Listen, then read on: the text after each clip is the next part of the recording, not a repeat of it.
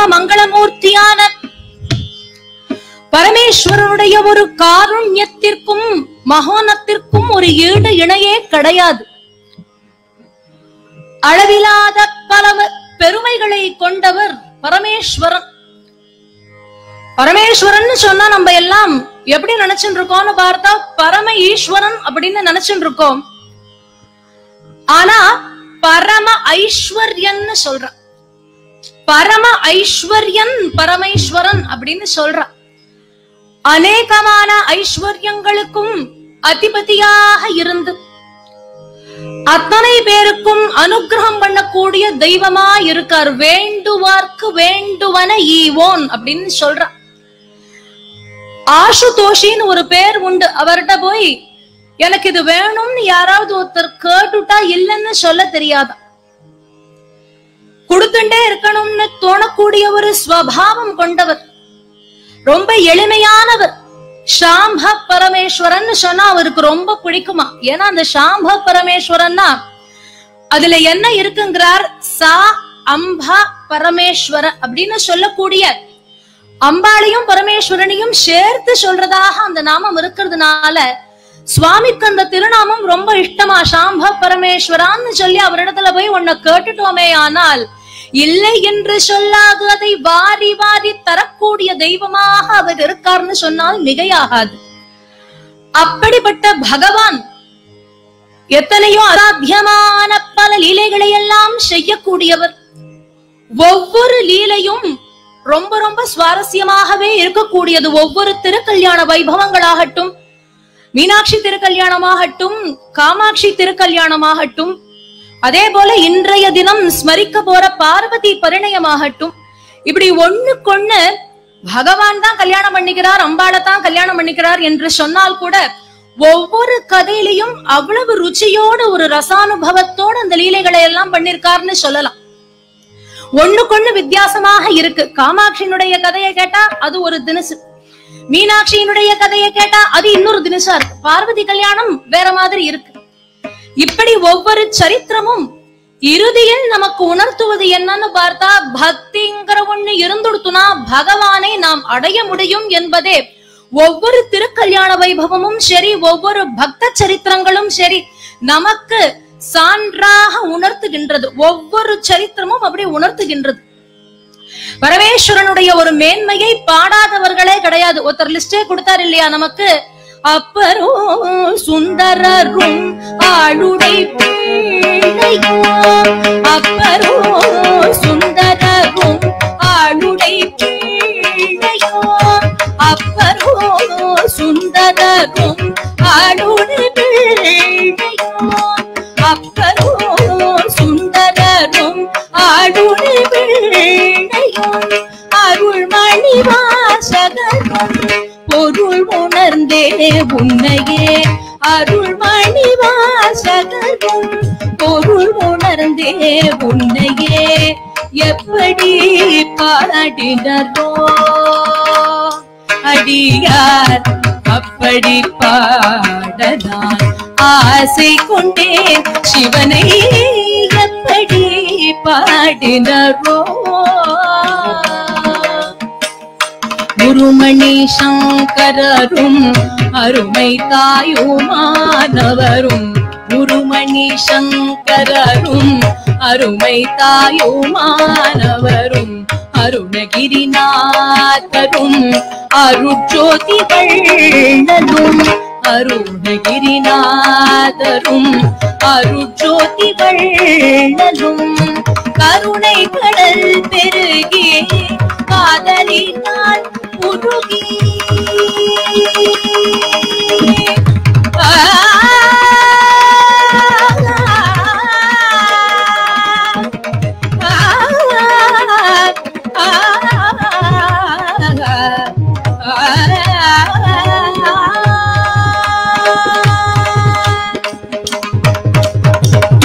கருணை கடல் பெருகி காதலின் கருத்தே காதலினால் உருகி கருணை கடல் பெருகே காதலினால் உருகி கனித்தமிழ் சொல்லினால் இனி துணை அனுதினம் கனித்தமிழ் சொல்லினால் இனி துணை அனுதினோ எப்படி பாடினரோ? அடியார் அப்படி பாடலாம் ஆசை கொண்டேன் சிவனை எப்படி பாடினரோ? பாடினரோ? பாடின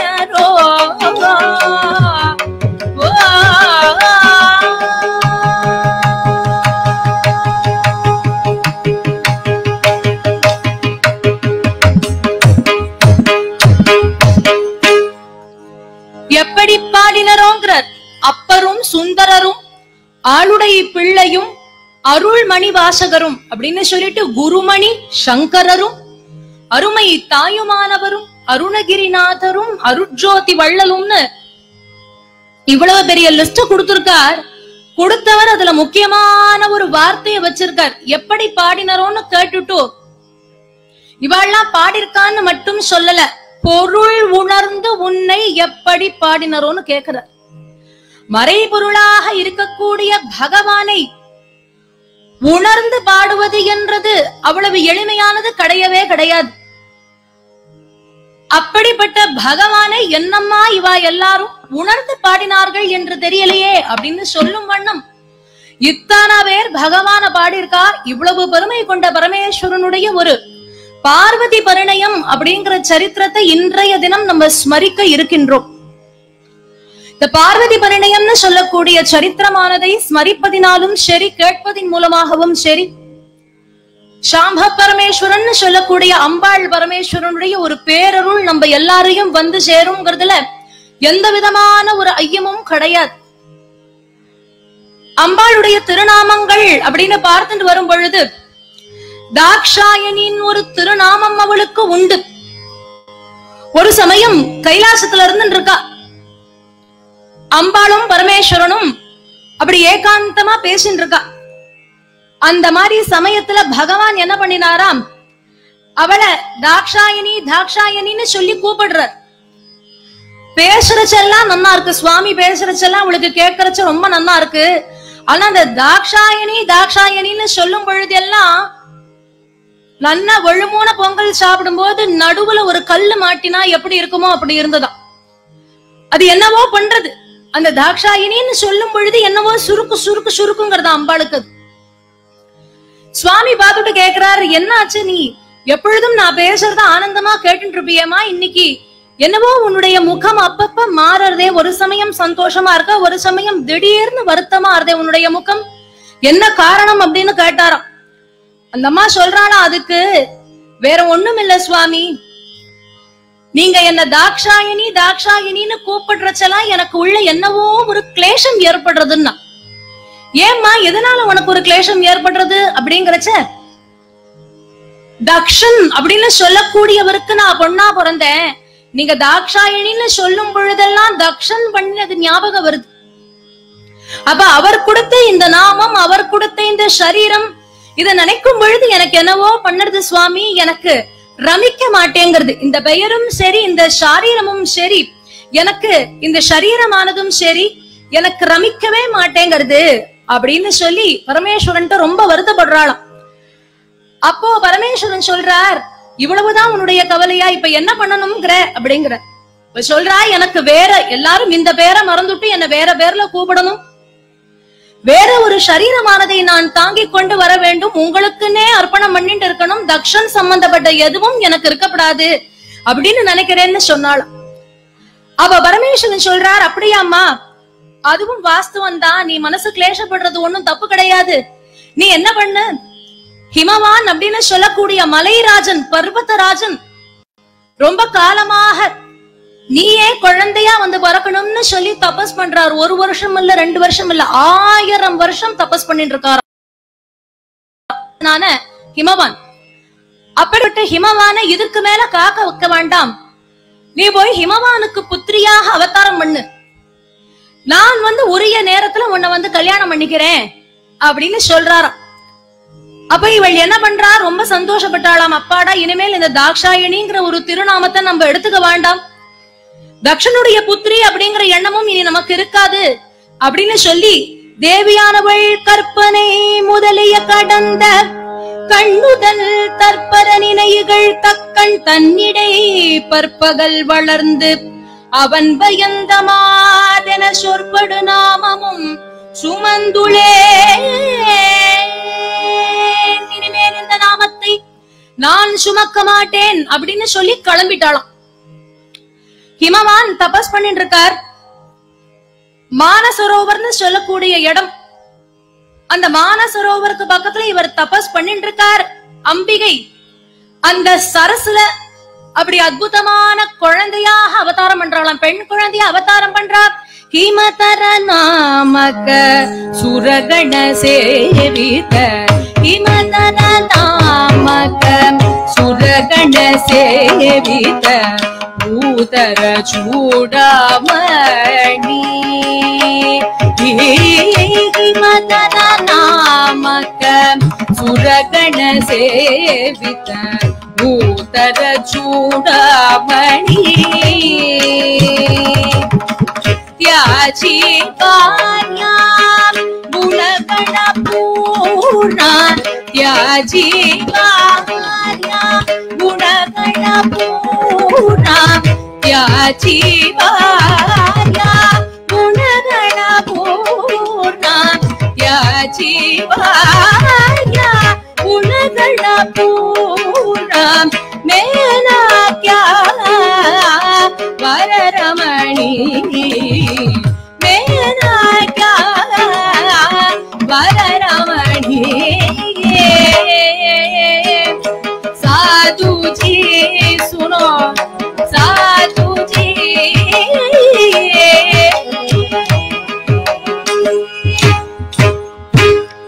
இந்த சாதுஜி சுனோங்கிற வார்த்தை சம்பிரதாய ஹரிக்கத்தையில வரக்கூடியது.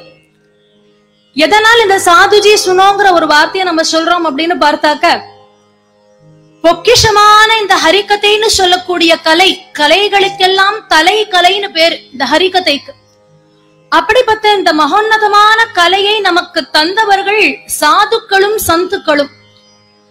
அப்படி கணக்கில்லாத சாதுக்களும் சந்துக்களும் விலை மதிப்பிட முடியாத இந்த மகோன்னதமான கலையை நமக்கு கொடுத்துருக்கா. அப்போ எங்கெல்லாம் ஒரு ஹரிக்கதைங்கிறது நடக்கிறதோ அங்கெல்லாம் அந்த சாதுக்கள் வந்துடுவான்னு சொல்லுவா. சாதாரணமா இப்ப நம்ம கேக்குறச்ச ஒரு யாராவது நமக்கு அவசரம் ஒரு நூறு ரூபாய் கொடுங்கன்னு கேக்குறச்ச அவ நமக்கு கொடுத்தான்னாக்க அடுத்த தரம் அவளை பார்க்கும் பொழுது நம்ம அவள்கிட்ட நடந்துக்கிற விதம் உபச்சாரங்கள் எல்லாம் வேற மாதிரி இருக்கும். அவளை ரொம்ப உயர்வா நினைப்போம். ஒரு நூறு ரூபாய் கொடுக்கறச்ச அப்படி நினைக்கிறச்ச விலை மதிப்பில்லாத கலையை கொடுத்தவா. அப்ப அவ வரான்னா அவளை பார்க்கும் பொழுது அந்த உபச்சாரங்கள் எல்லாம் உண்டு. அதனால சாதுஜி வாங்கோ சாதுஜி சுனோ கேளுங்கோ பாருங்கோ. எங்களை ஆசீர்வாதம் பண்ணுங்கோன்னு சொல்ற மாதிரி இந்த சாதுஜி சுனோங்கிற வார்த்தை சம்பிரதாய ஹரிக்கதையில ரொம்ப அவசியமா ஒன்றாக இருக்கின்றது. ஹிமதர நாமக ஹிமவான்னு சொல்லக்கூடியவரும் அவருடைய மனைவி மேனான்னு சொல்லக்கூடியவரும் உனக்காக காத்துருக்கான்னு சொன்ன உடனே அம்பிகையானவள் வந்துட்டா. மானசரோவர்ல அப்படி அவதாரம் பண்ணினா. தபஸ் பண்ணிட்டு இருக்கிற ஹிமவான் அந்த குழந்தைய பார்த்தாராம் கண்டான். ஹிமவான் கமலம் தன்னிலே கண்டான். ஹிமவான் கமலம் தன்னி மண்டலம் புகழ் சிசுவாய் உருவம். மண்டலம் புகழ் சிசுவாய் உருவம். மண்டலம் புகழ் சிசுவாய் உருவம். கொண்ட தேவியை தொண்டனார் பவன். மண்டலம் புகழ் சிசுவாய் உருவம். கொண்ட தேவியை தொண்டனார் பவன் கண்டான் கமலம்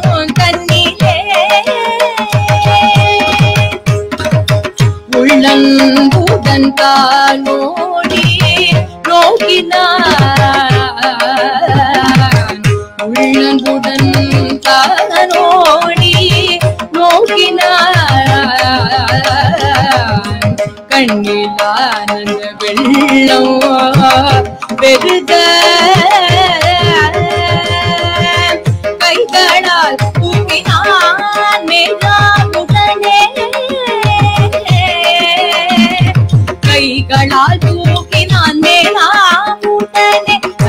கைகளால் தூக்கினான் மேலா மூட்டனே கைகளால் தூக்கினான் மேலா மூட்டனே உள்ளம் மகிழ்ந்து மெல்ல நடந்து உள்ளவு மகிழ்ந்து வெள்ள நடந்து உள்ளு மகிழ்ந்து மெல்ல நடந்து எல்லாம் அடைந்து ஈசனை நீ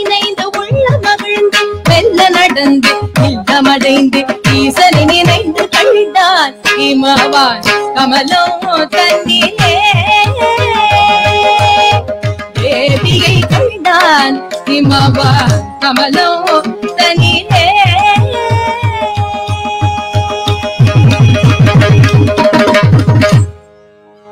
கண்டான் ஹிமவான். கமலம் தன்னிலே. கமலம்னு சொல்லக்கூடிய தாமரையில ஹிமவான் குழந்தைய கண்டாராம். பார்க்கும் பொழுதே எப்படி இருந்தால் தெரியுமோ அவளுடைய ரூபத்தை சொல்லும் பொழுது சதுர்புஜாம் திருணயனாம் சந்திரபிம்பானனா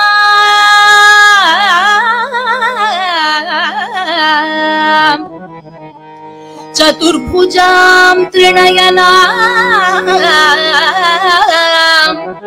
चन्द्रबिम्बा निभाननाया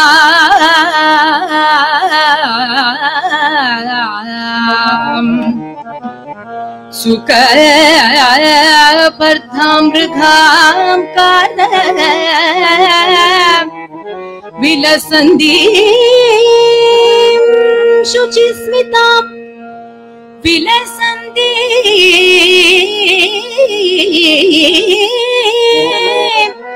शुचिस्मिता शुचिस्मिता शुचिस्मिता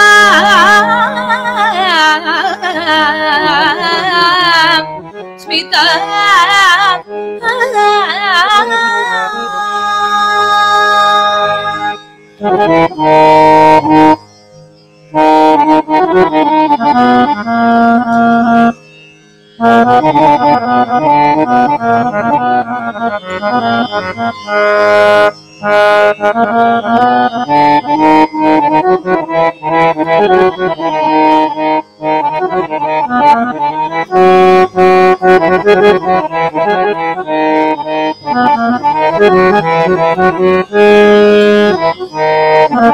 Thank.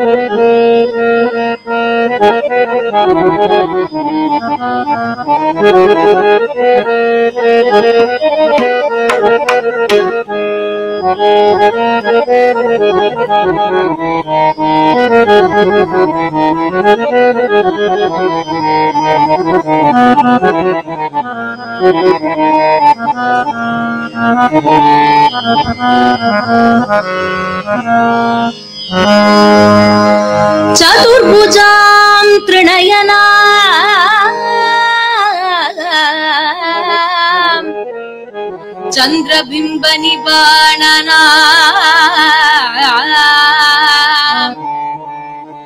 அம்பாளுடைய திரு அவதாரம் எப்படி இருந்ததுன்னார்? சதுர்புஜாம் திரிணயனாம் என்று சொல்லி நான்கு கைகள் மூன்று கண்கள் சந்திரபிம்ப நிபானனாம்ங்கிற மாதிரி முழுமதி போல முகம். அந்த திருமுகத்தோடு பிரகாசமாக கமலத்துல அவதாரம் பண்ணிட்டாளாம் மான சரோவர்ல இந்த மானசரோவர்னு சொல்லக்கூடியது. இன்றைக்கும் அவ்வளவு விசேஷமானது. பல பேர் சொல்றது உண்டு. அத்தனை தேவர்களும் அங்க ஸ்நானத்துக்கு வருவா. நித்தியபடி ஸ்நானத்துக்கு வருவா அப்படின்னு சொல்லுவா. குறிப்பா அந்த காலவேள பிரம்ம முகூர்த்தம்னு சொல்லக்கூடிய நேரத்துல அங்க போறச்ச சில பேர் சொல்லுவா நட்சத்திரங்கள் எல்லாம் மேலந்து அப்படி விழற மாதிரி தெரியுமா? அந்த தேவர்கள் எல்லாம் அங்க வந்து ஸ்நானம் பண்றதாக ஒரு ஐதீகம் அப்படி தெரியும்னு எத்தனையோ பேர் சொல்லி கேட்டது உண்டு. எதற்கு அந்த இடத்துக்கு இவ்வளவு ஒரு மகாத்மியம்னு பார்த்தா அம்பாள் பரதேவதையானவள் அவதாரம் பண்ணிருக்காளே. அப்ப அந்த இடத்திற்கு எவ்வளவு சிரேஷ்டம் இருக்கும். அம்பாளால கஷேத்திரங்களுக்கு பெருமை உண்டு. அப்படிப்பட்ட க்ஷேத்திரம் இந்த காஞ்சிபுரமும். மகாபெரிவா சொல்றச்சு ரொம்ப அழகா சொல்லுவார். காசிக்கும் காஞ்சிக்கும் என்னன்னு கேக்குறச்ச அவர் சொல்லுவார் காசிக்கும் காஞ்சிக்கும் ஒரு இன்ச்சு தான் வித்தியாசம் ஒரு இன்ச்சு தான் அப்படின்னு ரொம்ப அழகா சொல்லுவார் ஸ்லாகியமா அப்படி சொல்லுவார். அப்படி இந்த காஞ்சி க்ஷேத்திரத்துக்கும் சரி மானசரோவருக்கும் சரி மதுரைன்னு சொல்லக்கூடிய க்ஷேத்திரங்கள் இப்படி பல கஷேத்திரங்களுக்கு பெருமையானது அன்னையின் ஒரு லீலையினாலன்னே சொல்லலாம்.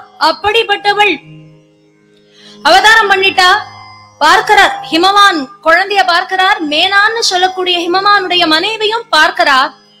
பார்த்த உடனே ரெண்டு பேரும் கை கூப்பி அம்பாள நமஸ்கரித்தாளாம். தேவி இத்தனை காலமாக நாங்கள் இருந்த தபஸ் வீண் போகல. எங்களுக்கு அனுகிரகம் பண்ணணும்ங்கிறதுக்காகவே வந்து அவதாரம் பண்ணிருக்கேளே உங்களுடைய காருண்யத்தை என்னன்னு சொல்றது அப்படின்னு சொல்லி பரதேவி இடத்துல நமஸ்காரம் பண்றா. ஆனா மேனையானவள் இருக்கா இல்லையா? அவளுக்கு மனசுல ஒரு கிளேஷம் ஏற்படுறது. ஏன்னா அம்பாள் எப்படி வந்திருக்கா? சதுர்புஜாம் திருநயனாம் அவதாரம் பண்ணிருக்கா. இப்ப இந்த மாதிரி ஒரு குழந்தை இருந்ததுன்னா அந்த குழந்தைய பார்க்கறச்செல்லாம் இவ அம்பாள் இவ அம்பாளுங்கிறது தான் ஞாபகம் வரும். பரதேவத்தை அப்படின்னு சொல்லும் பொழுது மாத்ரு வாத்சல்யத்துக்கு அங்க இடம் இல்லாத போயிடும் இல்லையா? அப்படி இருக்கிறச்ச அந்த ஒரு ரூபத்தை பார்த்தா கையெடுத்து அவளை நமஸ்கரிக்கணும்னு தோணுமே வழிய அவளை எடுத்து வளர்க்க வேண்டும்ங்கிற ஒரு எண்ணம் வராது. அதனாலதான் என்னவோ கிருஷ்ணவதாரத்துல பார்க்கும் பொழுது கூட யசோதையின் இடத்துல கிருஷ்ணன் அவருடைய மாயைய வச்சுண்டு உணர்த்தவே இல்லையா உலகத்துல உள்ள அத்தனை பேருக்கும் உணர்த்திருக்கார். அந்த இடத்துல இருந்தவா எல்லாருக்கும் அவ்வளவு லீலைய பண்ணி உணர்த்திருக்கார். ஆனா யசோதைட்ட லீலைகள் எல்லாம் பண்ணினாரே வழிய அந்த அம்மாட்ட உணர்த்தல. இது பாட்டிலே துணுண்டு ஒரு பொடி மண் எடுத்து வாயில போட்டுட்டது ஹான்னு தரடா பயலேன்னாலாம் தரந்தா அதுல மண்ணுனா இருக்கணும்னா அத்தனை உலகங்களும் ஈரேழு புவனங்களும் அந்த ஒரு வாய்க்குள்ள காண்பிச்சார். இவ பார்த்துட்டு அப்ப கூட இது தெய்வ குழந்தை போல இருக்குன்னு நினைக்காத என் குழந்தைக்கு என்ன ஆயிடுத்தோ தெரியலையே வாயை திறந்தா என்னெல்லாமோ தெரியறதேன்னு நினைச்சாலும் கண்ணனுடைய மாயா விலாசம் ஏன்னார் அம்மா விடத்துல போய் நான் தெய்வம்னு உணர்த்திட்டா அந்த அம்மா திட்டுவாளா அடிப்பாளா? சாமான்யமா அம்மாக்கள் பண்ற எதையுமே பண்ண மாட்டாளே. அதனால கண்ணனே என்ன பண்ணினாரா? தான் தெய்வங்கிறது உணர்த்தாதையே இருந்துட்டு இருந்தார் அதே போலத்தான் இங்க அம்பாள் இப்படி அவதாரம் பண்ணிட்டா. அப்ப மேனைக்கு தோணுறது இந்த மாதிரி இவ இருந்தான்னாக்க வளர்க்கறதுக்கு வா- ஒரு வாட்டம் இருக்காதேன்னு நினைச்சாலாம் அப்ப அம்பாள்கிட்ட பிரார்த்தனை பண்றா பரதேவதே சாமான்யமா ஒரு குழந்தை எப்படி இருக்குமோ அது போல ஒரு பெண் குழந்தையா உங்களை வளர்க்கணும்னு எனக்கு ரொம்ப ஆசையாக இருக்கு. அதற்கு நீங்க அனுகிரகம் பண்ணணும். அப்படிங்கிறச்ச அம்பாள் என்ன பண்ணினாலாம் சரின்னு சொல்லி அவளுடைய அந்த சாரூபம்னு சொல்லக்கூடிய சதுர்புஜாம் திரணயனாம் இருக்கிறத ரெண்டு கரங்களாக்கி ரெண்டு கண்களோடு ஒரு குழந்தையாக அந்த சரீரம் அப்படிப்பட்ட குழந்தையாக மாறினாளாம். மேனை உடனே அந்த குழந்தைய தூக்கிண்டாளாம். அம்பாளுடைய அந்த அழகை நினைத்து நினைத்து சந்தோஷப்படுறாளாம். இங்க சொல்லும் பொழுதே அம்மை திருவழகை கண்டாள். அம்மை திருவழகை கண்டாள். அம்மை திருவழகை கண்டாள். அம்மை திருவழகை கண்டாள்.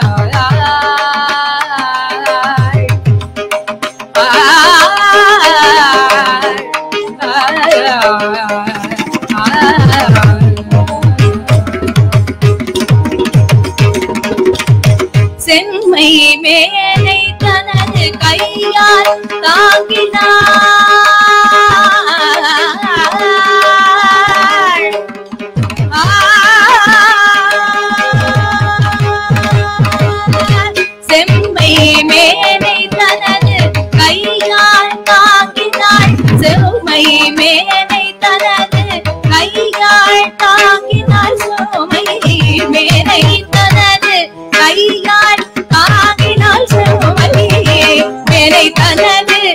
கையால் தாங்கினாள் சேயில்லாத கவலை நீங்கினாள் சேயில்லாத கவலைகள் நீங்கினாள் சேயில்லாத கவலை நீங்கினாள் சேயில்லாத கவலை நீங்கினாள் அன்னை திருவழகை கண்டாள்.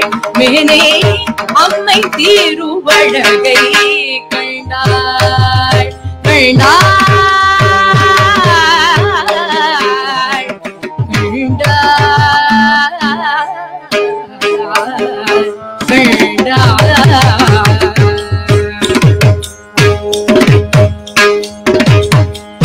ஆனி பொன் தொட்டிலில் ஏற்றினாள் ஆனி பொன்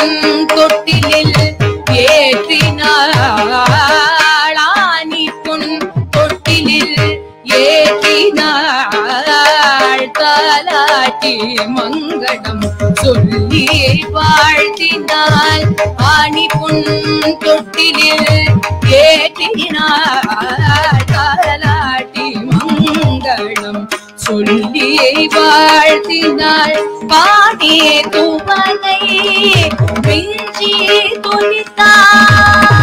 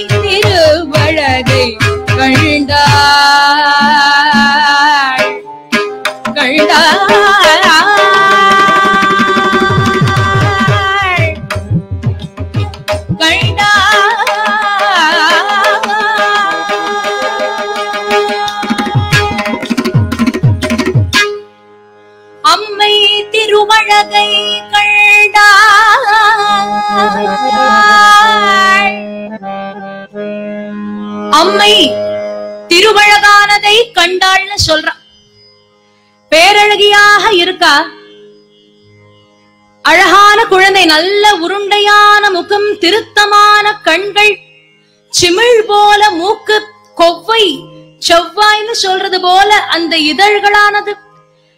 கைகள் குட்டி குட்டியா அழகா இருக்கு விரல் எல்லாம் நீட் நீட்டா இருக்கு. கால் பார்க்கறச்ச பிஞ்சு பாதம் அப்படியே மிருதுளமா இருக்கு. பார்த்தாலே தெரியறது. அப்படி கைய வச்சு லைட்டா போய் தொட்டாலே செவந்து போயிடும் போல் இருக்கு. அந்த அளவுக்கு மிருதுளமா இருக்கு அந்த பாதமானது. அவ்வளவு அழகா இருக்காளாம் அந்த கைய கால உதச்சுண்டு குவா குவான்னு அழும்போதும் அந்த குழந்தை அழகா இருக்கு. கடகடன்னு சிரிக்கிறச்சியும் அழகா இருக்கு. உருன்னு அப்படி பாக்குறச்சியும் அழகா இருக்கு. ஏன்னா பரதேவத்தை இல்லையா? இவளுக்கு என்ன ஒரு கொடுப்பினை அப்படின்னு பார்த்தா ஈரேழு புவனமும் யார பார்த்து அம்மான்னு சொல்லிட்டு இருக்கோமோ அந்த பரதேவதைக்கு இவள் அம்மாங்கிற ஒரு ஸ்தானத்தை அடைஞ்சிருக்காளே இவளுடைய பாக்கியத்தை என்னன்னு சொல்றது? அப்ப அந்த குழந்தைய நாளொரு மேனி பொழுதொரு வண்ணம்னு வளர்த்துட்டு வந்துட்டு இருக்கா? பன்னெண்டாவது நாள் நாமகரணம்னு சொல்லக்கூடியது. அன்றைய தினம் என்ன பெயர் வைக்கிறான்னு பார்த்தா பர்வதராஜனுடைய புத்திரிங்கிறதுனால பார்வதின்னு பேர் அவளுக்கு. பர்வதராஜ அப்படின்னு சொல்லக்கூடிய ஹிமவானுக்கு பெண் தக்ஷனுக்கு பெண்ணுங்கிறதுனால தாக்ஷாயணி பர்வதராஜனுக்கு பெண் அப்படிங்கிறதுனால பார்வதிங்கிற திருநாமம் பதித்து அந்த குழந்தைய வளர்த்துட்டு வராளாம். அவளை பாக்குறச்செல்லாம் குழந்தை குழந்தைங்கிற எண்ணம் இருக்கும். ஆனா சில நேரங்கள்ல என்ன ஆகும்னு பார்த்தா பாணித்துவகை மிஞ்சி துதித்தாள்னு சொல்றா. குழந்தைன்னு பார்த்தால் கூட சமயங்கள்ல இவ அம்பாள் தானேங்கிறது ஞாபகப்படுத்துறாப்புல சில விஷயங்கள் நடக்கிறச்ச தான் அம்மாங்கிறத மறந்து அவதான் நமக்கு அம்மாவோன்னு நினைச்சு நமஸ்கரிப்பாளாம். அந்த தெய்வம்ங்கிறது அப்பப்ப அவ மனசுல இருந்துட்டே இருக்குமா? சந்தோஷமா இருந்துட்டு இருக்கா அம்பாள் நிறைய லீலைகள் பால்ய லீலைகள் அப்படின்னு பார்க்கும் பொழுது எப்படி ஒரு குழந்தை அம்மாட்ட எல்லாம் அடம் பிடிக்குமோ எல்லாம் பண்ணுவாளாம். ஏதாவது ஒண்ணு முடிவு பண்ணிட்டானா மாத்திக்கவே மாட்டாளாம் இதை நான் இன்னைக்கு பண்ண போறேன்னு முடிவு பண்ணியாச்சு அப்படின்னு சொன்னா இன்றைக்கு தினம் அம்மாட்ட அவ்வளவு எளிமையா நான் பால் குடிக்க போறது இல்ல அப்படின்னு முடிவு பண்ணிட்டானா சாப்பிட மாட்டாளாம் திடீர்னு சில குழந்தைகள் சில நாள் பண்ணும் ஒழுங்கா சாப்பிட்டு ஒழுங்கா இருந்துட்டு இருக்கும். ஒரு நாள் ராத்திரி முழுக்க தூங்க விடாத பண்ணிடும். அது போல என்ன பண்ணுவா? சில நாள் அந்த அம்மாக்கு அந்த சந்தோஷங்கள் எல்லாம் கொடுக்கணும் அப்படிங்கறதுக்காக எல்லாம் இப்படிலாம் பண்ணினேன்னா அப்புறம் உனக்கு பால் கொடுக்க மாட்டேன். வா இங்க பாரு. உன்னுடைய கேசம் எல்லாம் சிடுக்கு விழுந்தாப்புல இருக்கு.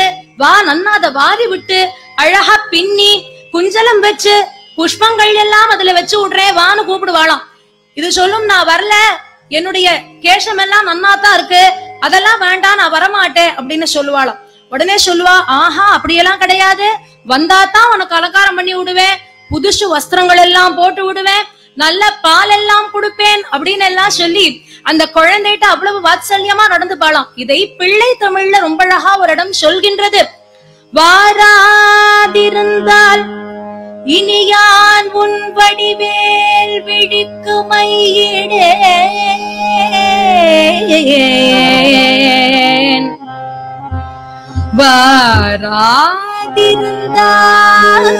வாராதிருந்தால் இனி யான் உன் வடிவேல் மையிடே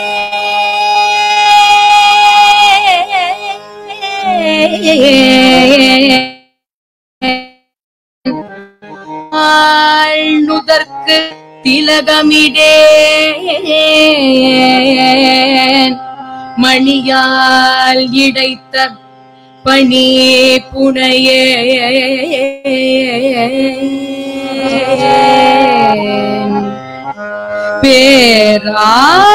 பேராதரத்தினோடு பழக்கம் பேசே பிறந்து மூளை பால். இனி தூட்டியே இனி தூட்டேன் இனி தூட்டே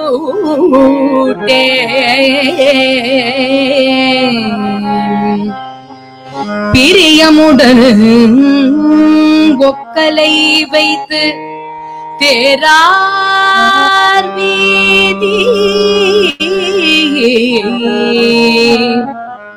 பிரியமுடன் ஒக்கலை வைத்து தேரார் வீதி வளம் காட்டேன். செய்ய கனிவாய் முத்தமிடேன். இருந்து மணி தொட்டிலில் ஏற்றி திருக்கண் வளர சீராடே தவமும்.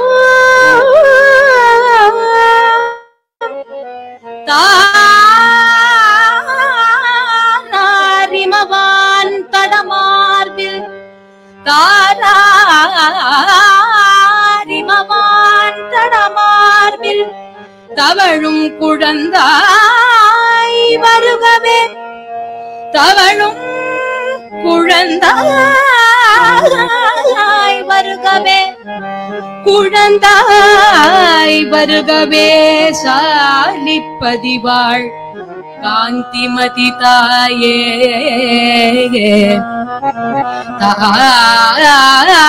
தாராதிமவான் தடமார்பில் தவழும் குழந்தாய் வருகவே குழந்தாய் வருகவே. சாலிப்பதிவாள் காந்திமதி தாயே காந்திமதி தாயே தாயே தாயே. தாயே.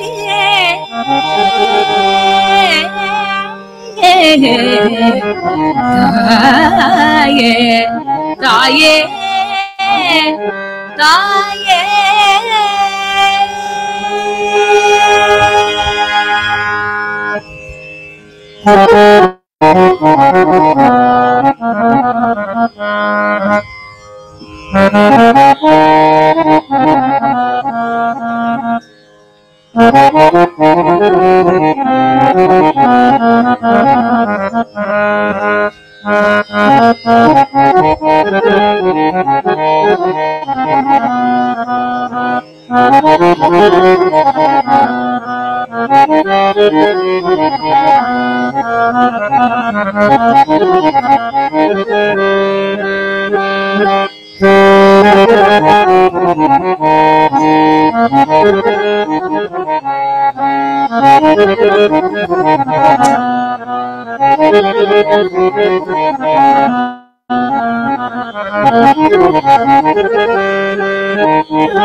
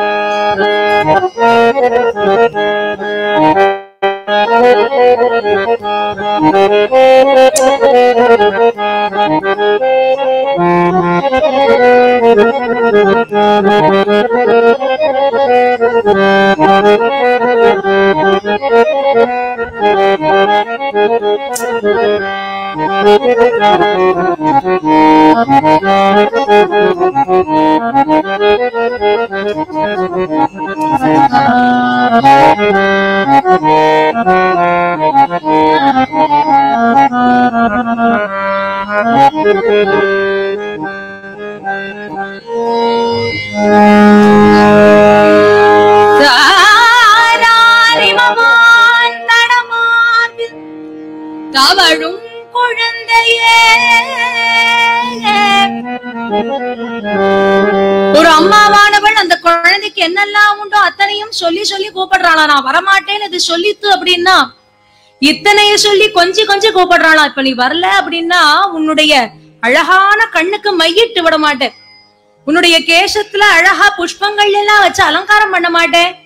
உனக்கு முளை பால் கொடுக்க மாட்டேன். அதனாலயாவது ஓடி வந்துடும் அம்மாட்ட. அப்படின்னு சொல்லி அத்தனை மாத்ரு வாத்சல்யத்தெல்லாத்தையும் அம்பாள் அனுபவிச்சுட்டு இருக்கா. அஞ்சு வயசு ஆக போறது. பூர்ணேத்து பஞ்சம வருஷங்கிறார். அஞ்சு வயசு ஆயாச்சு. இந்த அஞ்சு வயசு ஆயாச்சுன்னா நம்ம எல்லாம் என்ன பண்ணுவோம்? ஸ்கூல் எங்க இருக்குன்னு அட்மிஷனுக்கு தேடிட்டு போவோம். இப்பெல்லாம் ரெண்டரை வயசுலயே ஆரம்பிச்சு விடுறா. பிறந்த உடனே ஆரம்பிச்சு விடுறா. இன்னைக்கு தேதியில. அப்ப அஞ்சு வயசு குழந்தைக்கு ஆயிடுத்து அப்படின்னு உடனேவே அவளுக்கு என்ன தோணுத்துன்னு பார்த்தா நேரா அம்மாட்ட வந்தாலும் அம்மா எனக்கு ஒரு விஞ்ஞாபனம் இருக்கு அப்படின்னா என்னடி சொல்லு அப்படிங்கிறா. இப்ப சொல்றாளாம் எனக்கு தபஸ் பண்ணணும்னு ஆசையா இருக்குன்னாலாம் அஞ்சு வயசுல. தபஸ் பண்றதா? ஏண்டி உனக்கு என்ன வயசா எடுத்துன்னு இப்ப நீ தபஸ்க்கு போக போற? உனக்கு அஞ்சு வயசு தான் ஆயிருக்கு. தபஸ்க்கு எல்லாம் நிறைய விஷயங்கள் இருக்கு. அவ்வளவு எளிமையா பண்ண முடியாதுமா? ரொம்ப ரொம்ப கஷ்டம். அதனால தபஸ் எல்லாம் உனக்கு சரி வராது. நீங்க மாளிகையில சௌக்கியமா இரு. நம்பாத்துலதான் உள்ள. பரமேஸ்வரன் இருக்காரே. அங்க போய் அவரை நீ எந்நேரமும் சுவாமி உள்ளுக்கு போய் அவரை பார்த்து அங்க உன்னுடைய ஆசைகள் எல்லாத்தையும் சொல்லி அவர்கிட்ட பிரார்த்தனை பண்ண அதுவே நடக்கும். தபஸ் எல்லாம் உனக்கு வேண்டாம் அப்படின்னு சொல்லி மேனை சொல்றா. இவ சொல்றா அதெல்லாம் கிடையாது. தாத்தா பாத்தா வந்து நீ சத்தி போலே. தாத்தா பாத்தா வந்து நீ சத்தி போலே. சம்பு சரணார்ச்சன புத்தி ஜாலியே சம்பு சரணார்ச்சன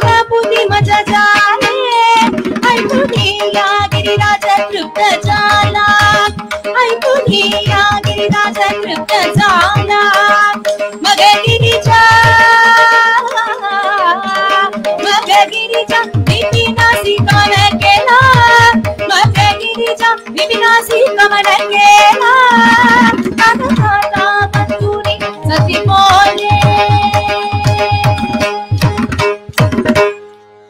இப்ப சொல்றா இதெல்லாம் உனக்கு சரி வராதுங்கிறா அதெல்லாம் சரிபடாதுடி அப்பா ஒத்துக்க மாட்டாருங்கிற அடுத்து. என்னெல்லாமோ சொல்லி பார்த்தா அவ ஒண்ணும் கேட்கறதா இல்ல பிடிவாதத்தோடயே இருக்கா. அதெல்லாம் இல்ல நான் போயே தான் தீருவேன். தபஸ் போய் பண்ண போறேன்னா சரி தபஸ் இங்க மாளிகையில இருந்தே பண்ணேன் அதனால என்னங்கிறா. மாளிகையில பண்ணா அது தபஸ் ஆகாது. நான் கிளம்புறேன் கானகத்திற்கு சென்று தபஸ் பண்றேன் எனக்கு அங்க போய் தபஸ் பண்ணணும் அப்படின்னு இருக்குன்னா. சொல்றா அப்பா அதற்கெல்லாம் ஒத்துக்க மாட்டாருன்னு கடைசி பிரம்மாஸ்திரம் அதுதான். இல்லையா? எல்லாம் நம்மள்ட்ட பேசி பார்த்துட்டு ஒண்ணு வேலைக்காகலன்னா அவ பேரை சொல்லிடணும். அவ கேட்க மாட்டா ஒத்துக்க மாட்டா அப்படின்னு சொல்லிட்டா ஆச்சு. அப்போ அவ சொல்றா அப்பா ஒத்துக்க மாட்டாருன்னு உடனே அப்பாட்ட நான் பேசுறேங்கிறா இவோ. அப்பாவை பத்தி நீங்க கவலைப்படாதீங்கோ. உங்களோடது ஆமாவா இல்லையாங்கிறதோட நீங்க சொல்லுங்க. அப்பாட்ட என்னங்கிறத நான் பேசிக்கிறேங்கிற அப்படின்னு பேசிட்டு இருக்கிறச்சியே ஹிமவான் வந்துட்டார். என்ன அம்மாவும் பொண்ணும்? ரொம்ப காரசாரமா ஏதாவது பேஷண்ட் இருக்கிறாப்புல தெரியறதேன்னா. பாருங்க பொன்னரசி என்ன ஆசைப்படுறா தெரியுமோ இல்லையோ? அஞ்சே வயசார காலத்துல தபஸ் பண்ணணும்னு ஆசைப்படுறா உங்க பொண்ணு. நானும் முடியாது வேண்டாம்னு எல்லாம் சொல்லி பார்த்துட்டேன். ஒன்னும் கேட்க மாட்டேங்கிறா. நீங்களாவது அவளுக்கு புத்திமதி சொல்லுங்கன்னு சொல்றாளாம். அப்ப அவர் சொல்றார் கானகம் செல்வதழகோ கண்ணே. வேண்டாமா கானகத்துக்கு போக வேண்டாம். ஏன் தெரியுமோ? கானகம் எல்லாம் முனிவர்கள் நாடுவது. நீயோ ராஜகுமாரி? இல்லையா? பர்வதராஜன் வேறு. மலைகளுக்கெல்லாம் ராஜன். அப்படிப்பட்ட பர்வதராஜ குமாரி நீ. அப்படி இருக்கும் பொழுது நீ போய் கானகத்துல போய் தபஸ் பண்றதெல்லாம் சரியா இருக்குமா? எனக்கு நினைச்சு பார்க்கவே எனக்கு என்னவோ பண்ணுறது. உன்னுடைய கால் எவ்வளவு மிருதுளம். அது கானகத்துல இருக்கக்கூடிய கரடான கல்லிலும் முள்ளிலும் அப்படி படுறத நினைச்சாலே எனக்கு கண்ல. உதிரம் கொட்டுறதுங்கிற. எனக்கு கண்ணுல ரத்தம் வருது மனசெல்லாம் வலிக்கிறது குழந்தை வாண்டாமா? அதோட உனக்கு தெரியுமா? தபஸ்ங்கிறதெல்லாம் காலவர்த்த தேசமானங்கள் எல்லாம் அதற்கு கிடையாது. ஏன்னாக்க திடீர்னு புயல் அடிக்கும் திடீர்னு மழை அடிக்கும் திடீர்னு வெயில் சுள்ளுன்னு அடிக்கும். எதுவாக இருந்தாலும் நீ அங்கேயே இருந்தாகணும் தபஸ் கண்டினியூவஸா பண்ணிண்டாகணும். அது மட்டும் கிடையாது. அன்னமாகாரம் எல்லாம் கிடைக்காது. இங்க வேளா வேலைக்கு உனக்கு எல்லாம் வருதோ இல்லையோ? அது மாதிரி அன்ன ஆகாரமானது இருக்காது. ஜலம் நினைச்ச நேரத்துல பருக முடியாது. அவ்வளவு கஷ்டங்கள் இருக்குமா? அஞ்சு வயசுல உனக்கு இந்த கஷ்டங்கள் எல்லாம் எதற்கு? சௌக்கியமா மாளிகையில இது யாரு சொன்னா தபஸ் பண்ணாதான் பகவான் அனுகிரகம் பண்ணுவார்னு யாரு சொல்றா?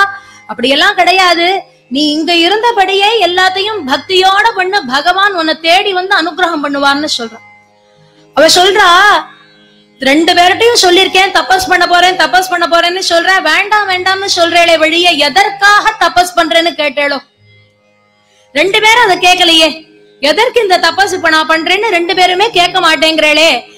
அப்படிங்கறது சரி சொல்லி என்னதான் உனக்கு வேணும் எதற்கு நீ தபஸ் பண்ற? அப்படின்னா எனக்கு பரமேஸ்வரனை அடையணும் அதை உத்தேசிச்சுதான் நான் தபஸ் பண்ணணும்னு சொல்றான்.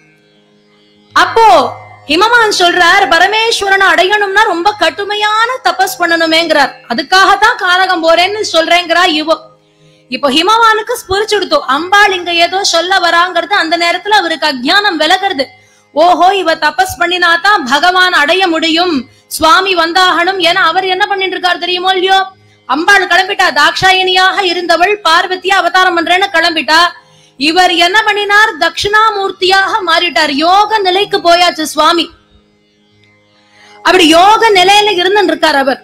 அப்போ அவர் வந்து திருமணம் பண்ணினா தான் பார்வதி கல்யாணம்ங்கிறது நடக்கும். அதற்குத்தான் அம்பாள் இப்படி உன்னை சொல்றாங்கிறத புரிஞ்சுட்ட ஹிமவான் மேனா தடுக்கிறா. அப்ப சொல்றா சரி வா- குழந்தைய தடுக்க வேண்டாம். அவ ஒண்ணு உத்தேசம் பண்ணிட்டானா? யோசிச்சுதான் பண்ணிருப்பா. அவ இஷ்டப்படி பண்ணட்டும்னா. ஆனா இவர் என்ன சொல்றார்? ஒரே ஒரு கண்டிஷன்ங்கிற உன்னோட நான் ரெண்டு பேரை துணைக்கு அனுப்புவேன். தோழிகள் ரெண்டு பேரை அனுப்புவேன். அவ உனக்கு வேணுங்கிறதெல்லாம் சௌக்கியங்கள் எல்லாம் பார்த்து பண்ணி கொடுப்பா. நீ கானகத்துல தபச பண்ணு அப்படின்னு சொல்றார் சரின்னுட்டா அம்பாள் அதுக்கு. நிஷவைன்னு சொல்லக்கூடிய ஒரு பெண்ணும் கூட வரா. அப்படி அவர்கள் எல்லாரும் கானகத்திற்கான இடத்துக்கு வந்துட்டார். ஹிமவானே அழிச்சுட்டு வந்து பாக்குறார் ஏன்னா ஒழுங்கான இடமா இருக்கா? பொண்ணுக்கு சௌரியமா இருக்குமா அந்த இடம் தபஸ் பண்றதுக்கு? எல்லாத்தையும் அவரே பர்சனலா செக் பண்ணி அந்த இடத்துல தவம் பண்ணலாம்னு உத்தேசம் பண்ணியாச்சு. இவர் கிளம்பி வந்தாச்சு. அம்பாள் உக்ரமான தபஸ் இருக்க ஆரம்பிக்கிறா. இந்த தபசானது அவ்வளவு எளிமை கிடையாது. முன்னாடியே சொன்னேன் ஒரு நாள் விரதத்துக்கே நமக்கு எல்லாம் அவ்வளவு பாடா இருக்கு இன்னைக்கு காலத்துல. இல்லையா? பழைய காலத்துல பெரியவாள்லாம் சொல்லி நான் கேள்விப்பட்டிருக்கேன் ஒரு விரதம் இருக்க மா இல்லாத இருக்க மாட்டேன். சங்கடஹர சதுர்த்தி பரியந்தம் ஏகாதசி பிரதோஷம் ஷஷ்டி விரதம்னு அத்தனை விரதங்களையும் இருப்பேனா? அப்படின்னு சொல்லுவா. இப்ப என்னால ஒண்ணுமே இருக்க முடியல. ஏன்னா இந்த டயபிட்டிஸ் வந்துடுத்தும் இந்த வியாதி வந்துடுத்தும் அந்த வியாதி வந்துடுத்தும் அதனால வயித்த காலியா போடப்படாதுன்னு டாக்டர் சொல்லியிருக்கார். மாத்திரைக்காகவாதி எதையாவது சாப்பிட வேண்டியிருக்கேன் நாக்குக்கு பிடிக்கிறதோ இல்லையோ. அப்படின்னு சொல்லிட்டு விரதம் இருக்கிறதையே விட்டுட்டேன்னு சொல்லிட்டு இருக்கோம். ஒண்ணுமில்ல யோசிச்சு பாருங்க. ஒரு நாள் விரதம் அப்படின்னு உத்தேசிப்பா. அடுத்த நாள் கார்த்தால எழுந்த உடனே கேக்குற முதல் கேள்வி காஃபி ரெடியாதான் பிரதமான நாளாக இருந்தாலும் காபி சாப்பிடுவா. ஏன்னா பாலுக்கு தோஷம் கிடையாதுன்னு சொல்லிடுவா. பாலுக்கு தோஷம் கிடையாது பழத்துக்கு தோஷம் கிடையாதுன்னு காலங்கார்த்தால ஒரு டம்ளர் காஃபி போயிடும் ஸ்நானம் பண்ணிட்டு கிருஷ்ணாராமா கோவிந்தான் ஒரு பூஜையை பண்ணிட்டு வந்தாருனாக்க மாமி உள்ளேந்து குரல் கொடுப்பா.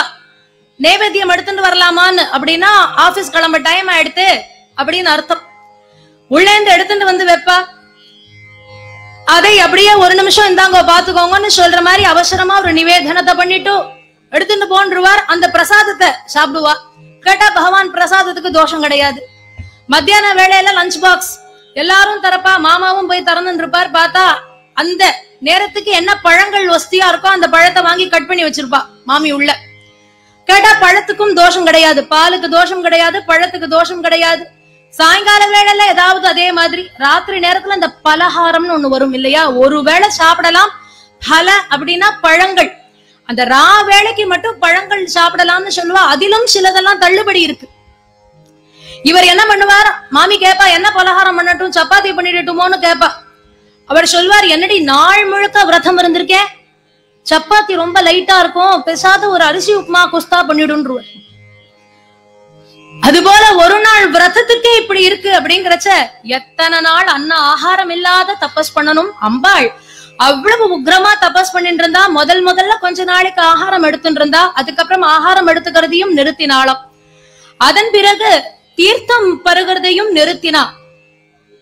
இலைகளை சாப்பிடுவாளாம். அந்த காய்ந்த இலைகளை சாப்பிடுறதையும் நெறித்ததினால அம்பாளுக்கு அபர்ணாங்கிற திருநாமமும் வந்தது. அபர்ணான்னு ஒரு பேர் உண்டு அவளுக்கு அதனால. இப்படி கடுமையா இவ தபஸ் பண்ணிட்டு இருக்கா பரமேஸ்வரன் வருவார் வருவார்னு காத்துட்டு இருக்கா அவர் ஒண்ணும் வராப்புல தெரியல. இங்க தேவர்கள் எல்லாம் பார்த்தா பரமேஸ்வரன் யோக நிலையில இருக்கார். அம்பா தபஸ் பண்றாங்கிறது அவருக்கு. தெரிந்தால் கூட அவர் அந்த யோகத்துல இருந்து வரமாட்டேங்கிறாரே. முதல்ல அவரை எழுப்பணும் நாளும். சரி எழுப்புறதுக்கு யார கிடைச்சதா மன்மதன் அப்படின்னு சொல்லக்கூடிய காமனை அழைக்கிறா. காமனிடத்துல சொல்றா உன்னுடைய பானமானதை பிரயோகம் பண்ணி கல்யாணம் அப்படிங்கிறது நடக்கணும். ஏன்னா பகவானும் தேவியும் பிரிஞ்சு இருக்கிறதுனால சிருஷ்டில நிறைய பிரச்சனைகள் ஏற்படுறது. புஷ்பங்கள் பூக்க மாட்டேங்கிறது. அந்த மாதிரி நிறைய இருக்கு. அதனால நீ இந்த லோகக்ஷேம காரியத்தை பண்ணணும்னு மன்மதன்ட்ட வந்து எல்லாரும் கேட்கிறா.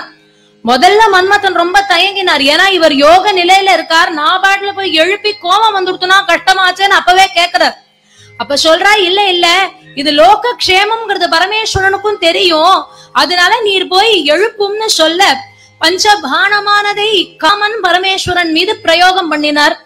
பரமேஸ்வரன் சாமானிய நிலையில இருந்தார்னா அவருடைய மத்த ரெண்டு கண்கள் திறந்திருக்கும். இது யோக நிலையில இருந்தால் இல்லையா? இந்த யோக நிலையில இருந்ததுனால மன்மதனுடைய பானம் பட்ட உடனே மூணாவது திறந்துடுத்து நெற்றிக்கண் கொடுத்தும் அந்த நெற்றிக்கண் தானா திறந்த உடனே என்ன அர்த்தம்? அதுல இருந்து அக்னியானது வர பஸ்மமாக்கிடுறார் காம தகன கபாலி அப்படின்னு சொல்லி காமனை வென்றவர் அப்படின்னு ஒரு பெயர் வந்தது. இன்னும் சொல்ல போனா இந்த காமாட்சி அப்படின்னு சொல்றோமே காமனுக்காக அவ பண்ணின லீலை தானே காமாட்சின்னு சொல்லக்கூடியது. விமானத்துக்கே இங்க என்ன பேருன்னு பார்த்தா காமகோட்டி விமானம்னு தான் பேரு. காமாட்சி அம்மன் கோவில்ல. எதனாலன்னு பார்த்தா காமன் இந்த மாதிரி பண்ணிட்டார் ஆனா எல்லாரும் அவரை திட்டின்ட்டு தானே இருந்தா இன்னும் சொல்லிட்டு இருப்பாளே.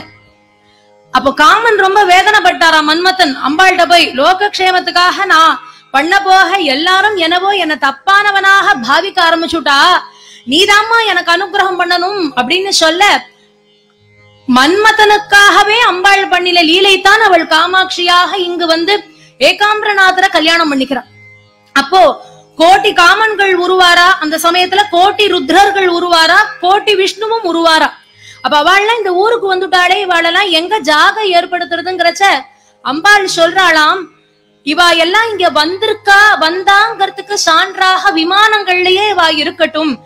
என்னுடைய கோவில் விமானம் காமகோட்டி விமானம்னு அழைக்கப்படும். ஏகாம்பரநாதர் கோவிலுக்கு ருத்ரகோட்டி விமானம்னு பேரு. தேவராஜ சுவாமி கோவில் அங்க இருக்கக்கூடிய விமானத்துக்கு விஷ்ணு கோட்டி விமானம்னு பேரு. இப்படி இந்த லீலைக்கும் காமாட்சியாக அம்பாள் வரத்துக்கும் இந்த பார்வதி கல்யாணம் ஒரு பேசா இருந்திருக்குங்கிறதுக்காக இந்த சமாச்சாரம். அப்படி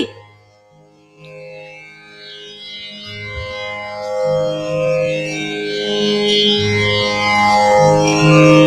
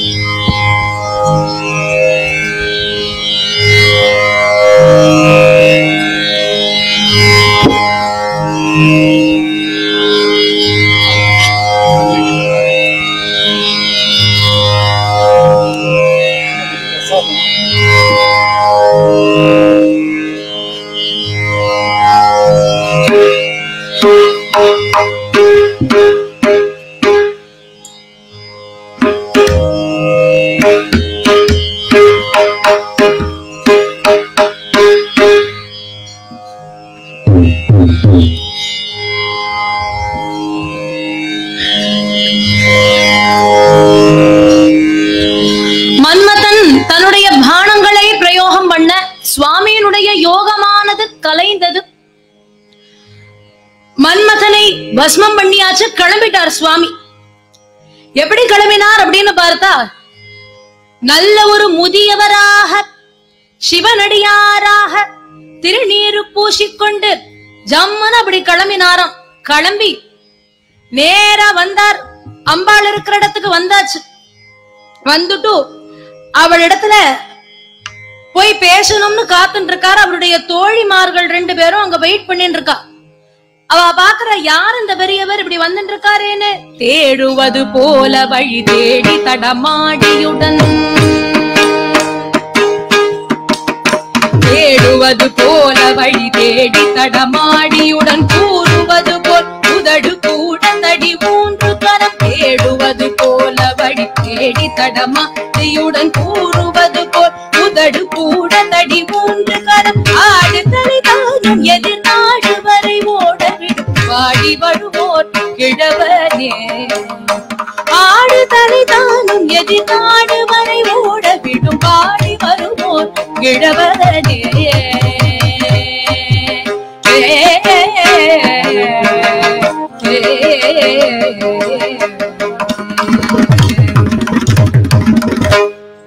தேடுவது போல வழி தேடி தடமாடியுடன்.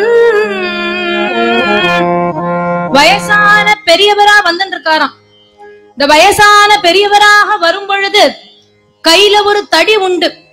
வயோதிகத்துக்கு என்னெல்லாம் உண்டோ அத்தனையும் வச்சுட்டு வராராம். அவருடைய கேசம் எப்படி இருக்குன்னு பார்த்தா பஞ்சு போல வெள்ள வெளேர்னு ஒரு கேசம் அந்த கேசத்துக்கு மேட்சா அவருடைய தாடியானது அதே போல வெள்ள வெளேர்னு அடுத்தாப்புல பார்க்கும் பொழுது உடம்பெல்லாம் சுருக்கங்கள். எங்கு பார்த்தாலும் சுருக்கம் சுருக்கமாக இருக்கு. கையில தடி வச்சிருக்கார். ஏதோ வாயில சொல்லக்கூடிய சாஸ்திரத்துக்காவதுங்க ஒரு பல்லு இருக்கான்னு பார்த்தா கிளீன் ஸ்வீப் ஒரு பல்லு கூட இல்லையா?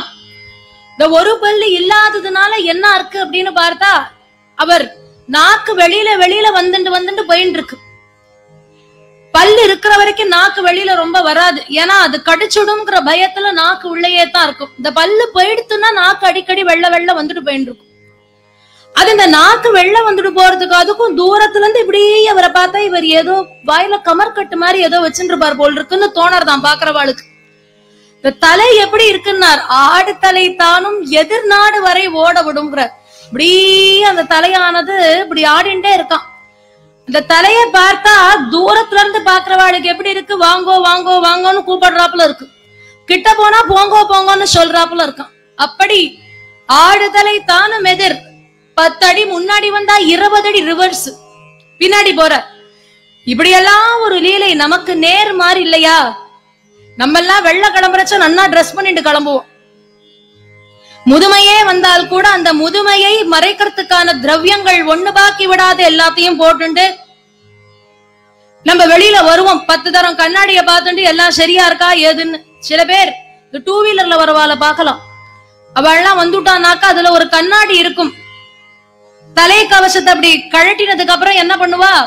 ஒரு நிமிஷம் சீப்பு எடுப்பா. அப்படி பாக்கெட்ல இருந்து அந்த சீப் எடுத்து தலைய அங்க கேசம் இருக்கோ இல்லையோ பெரு பெருன்னு ஒரு தரம் வாரினா அவளுக்கு அதுல ஒரு திருப்தி ஏற்படும். அப்படியே அதை பார்த்துட்டு சரியா இருக்கான்னு வருவா. ஆனா இத்தனைய பண்ணிட்டும் மதமீறி அந்த முதுமையானது தெரியும். ஆனால் இங்க பரமேஸ்வரன் களமரச்ச பித்தன் போல கிளம்பினார். தன் ரூபத்தை மறைத்து கொண்டு வயோதிகத்தை வரவழைத்து கொண்டு கிளம்புறார். ஆனால் கூட எப்படி இருக்குன்னார் அந்த யௌவனத்தை மறைக்க முடியலையாம் பிரகாசமா இருக்கார் ஜாஜ்வல்யம். அப்படி இருக்கார் ஜாஜ்வல்யமா? வந்துட்டார். இந்த தோழிமார்கள்ட்ட கேட்டார் என்னடி குழந்தைடா நீங்க ரெண்டு பேர் இங்க இருந்து இருக்கேனே என்ன நடக்கிறதீங்கிற எங்களுடைய ராஜகுமாரியான பார்வதியானவள் இங்க தபஸ் பண்ணிட்டு இருக்கா அப்படின்னு சொல்றான். தபஸா? என்ன வயசு இருக்கும் அவளுக்கு? அஞ்சு வயசு. அப்படியா? அவ்வளவு சீக்கிரம் தபஸ் பண்றாளா? நான் பார்க்கணுமே அந்த குழந்தைய. இப்படி ஒரு பக்தி இருக்குன்னா அவள் அவசியம் பார்த்தாக வேண்டாமோ? அப்படிங்கறச்ச இருங்கோ இருங்கோ நினைக்கிறச்செல்லாம் அவளை போய் பார்க்க முடியாது. அவளை போய் கேட்டுட்டு வரேன். நீங்க வரத்துக்கு சரிதானான்னு அவ சொன்னானா உங்களை உள்ள அனுப்புறேங்கிறான் இவ போய் பார்வதிட்ட சொல்றா வந்திருக்கிறவர் வயசானவரான்னு கேக்குறா. ஆமா வயசானவர்னா பரவாயில்ல வர சொல்லுங்கிறா. அப்போ இந்த பெரியவர் உள்ள வந்தார். இவ தபஸ் பண்ணிட்டு இருக்கிற இடமானது இருந்துட்டு இருக்கு அப்படி வந்த உடனே அவளை பார்த்துட்டு கேக்குறார். ஏண்டிமா பர்வதராஜன் புத்திரியா நீ ஆமா. பார்வதியா அவன் பெயர்? ஆமா. எல்லாம் சொல்றானோ? சரி எதற்கு நீ தபஸ் பண்றன்னு கேக்குறார். உன்னுடைய வயசுக்கு தபஸ் எல்லாம் பண்ணலாமா? ஷரீரம் ரக்ஷ கல்யாணிங்கிறாராம். உடம்ப பார்த்துக்கோமா.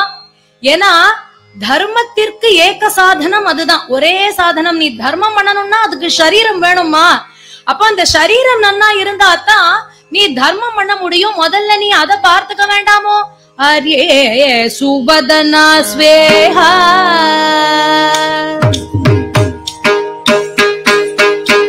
आर्ये सुवदना स्वेहा त्वं दृष्टा वद वर्णिनी आर्ये सुवदना स्वेहा त्वं दृष्टा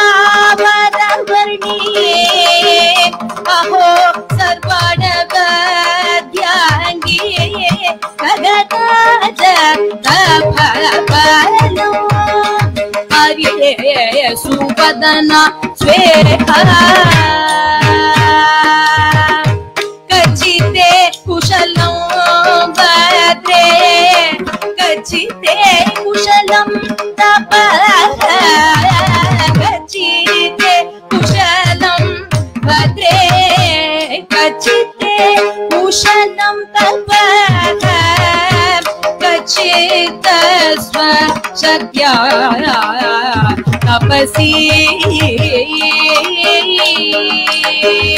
प्रवृतासि वरानने शरीरं रक्ष कल्याणी। शरीरं रक्ष कल्याणी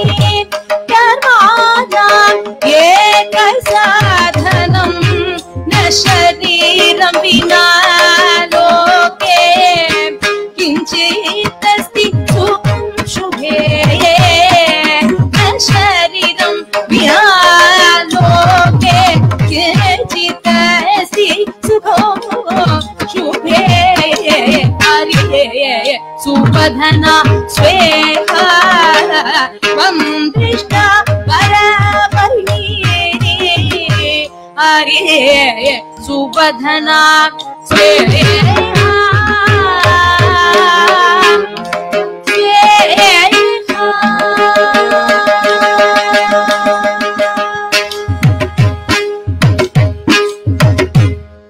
कश्चिते कुशलं भद्रे कश्चिते कुशलं तपः வந்து நின்னுட்டு கேள்வி மேல கேள்வி அவள பதிலே சொல்ல விடலே அத்தனை கேள்வி கேட்கிறார். எல்லாம் கேட்ட உடனே பார்வதியானவள் அவருக்கு பதில் சொல்றாளாம். முதல்ல ஒரு சிவனடியார் தரிசனம் எனக்கு கிடைச்சிருக்குங்கிறதே நான் ரொம்ப பாக்கியமா நினைக்கிறேன். ஏன்னா இந்த தபஸானத நான் யார உத்தேசிச்சு பண்றேன்? அப்படின்னு பார்த்தா பரமேஸ்வரனை உத்தேசிச்சு தபம் பண்றேன். பரமேஸ்வரனை நினைச்சுதான் இந்த தபஸானதை நான் பண்ணிட்டு இருக்கேன். அப்படி இருக்கிறச்ச பரமேஸ்வரனே ஒத்துண்ட விஷயம் எதுன்னார்? சிவன் பெரிதா சிவ பக்தர்கள் பெரியவர்களா? என்று பார்த்தால் சிவ பக்தர்கள் பரமேஸ்வரனை காட்டிலும் பெரியவர்கள் என்று பகவானே ஒத்துன்றிருக்கார் அப்படி சிவ பக்தரான பழுத்த பழமான நீங்கள் பரமேஸ்வரனை காட்டிலும் மகோன்னதமானவர். அதனால உங்களை தரிசனம் பண்றதே எனக்கு பரமபாகியம் அப்படின்னு சொல்றா. பரமேஸ்வரனை நோக்கி தபஸ் பண்றியா? எதுக்கு? என்ன வேணும் நோக்கு? பர்வத ராஜகுமாரி தானே நீ? உன்னிடத்துல இல்லன்னு ஏதாவது இருக்குமோ? இப்படி பார்த்தா உங்க அப்பா எல்லாம் உனக்கு கொடுப்பாரே. என்ன வேணும்னு நீ பரமேஸ்வரனை நோக்கி தபஸ் பண்றேன்னு சொல்ல அப்படின்னா. நம்ம சொல்றா? பரமேஸ்வரன் மீது எனக்கு மாறாத பக்தி உண்டு. சின்ன வயசுல இருந்து அந்த பக்தியானது அந்த அன்பானது பெருகி பெருகி பெருகி கல்யாணம்னு பண்ணிண்டா பரமேஸ்வரனை பண்ணிக்கணும் எனக்கு ஒரு எண்ணம். அதற்காகத்தான் இந்த தபசையே நான் பண்றேன் பரமேஸ்வரனை கல்யாணம் பண்ணிக்கணும் அப்படிங்கிற ஆசையில தான் இந்த தபசானத பண்றேன். அப்படின்னு உடனே ஒரு சிரிப்பு சிரிச்சிருக்காரு பாருங்கோ இந்த பெரியவர். ஹா ஹா ஹா ஹான்னு ஒரு சிரிப்பு சிரிக்கிறாராம். கைய தட்டிண்டு தட்டிண்டு சிரிக்கிறார். கை கூட்டி சிரிக்கிறதுன்னு சொல்லுவா இல்லையா? அதை பண்ணினாராம். இவளுக்கு புரியல இந்த பெரியவர் என்னத்துக்கு இப்படி கைய தட்டுறார்? ரொம்ப கேலியா இருக்கு இது பாக்குறதுக்கேன்னு தெரியறது. என்ன பெரியவரே எதனால் இப்படி பண்றேன் நீங்க அப்படின்னா நன்னா சொன்னடி குழந்தை போயும் போய் அந்த பயலைய கல்யாணம் பண்ணிக்க போற. அவன்கிட்ட என்ன இருக்குன்னு நீ கல்யாணம் பண்ணிக்கிற? அப்படின்னு கேட்டாலும் பரமேஸ்வரனா அவன் இவன் சொன்ன உடனே ஒரு கோபம் அவளுக்கு வர ஆரம்பிச்சது பாருங்க. அவ பேச ஆரம்பிக்கிறதுக்குள்ள இவர் அடுத்த லைனுக்கு வந்துட்டார். ஏதடி பெண்ணே?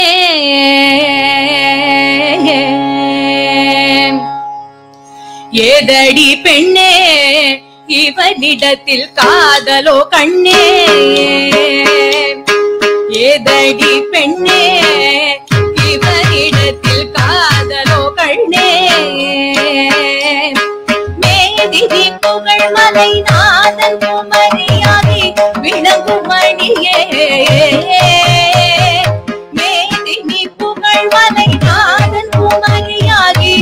விளங்கும் மணியே ஏதடி பெண்ணே இவனிடத்தில் காதலோ கண்ணே.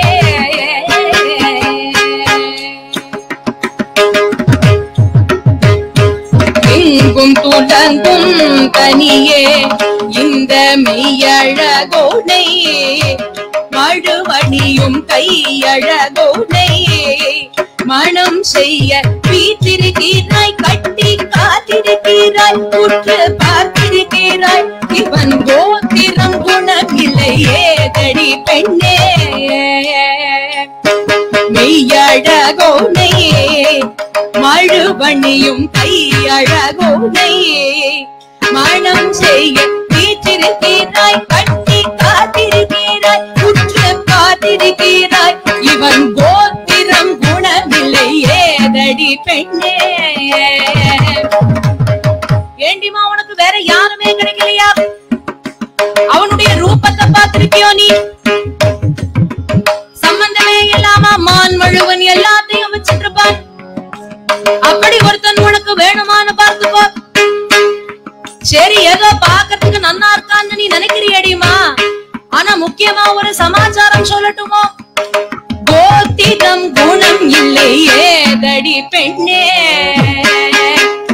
ஏமா ஒரு கோத்திரம் வேண்டாமா? சொல்லி கல்யாணம் பண்ணணுமோ இல்லையோ? பாணிகிரகம் பண்றச்ச? இந்த கோத்திரம்னு சொல்லி கல்யாணம் பண்ணி வைக்கணுமே. பரமேஸ்வரனுக்கு கோத்திரம் ஏது?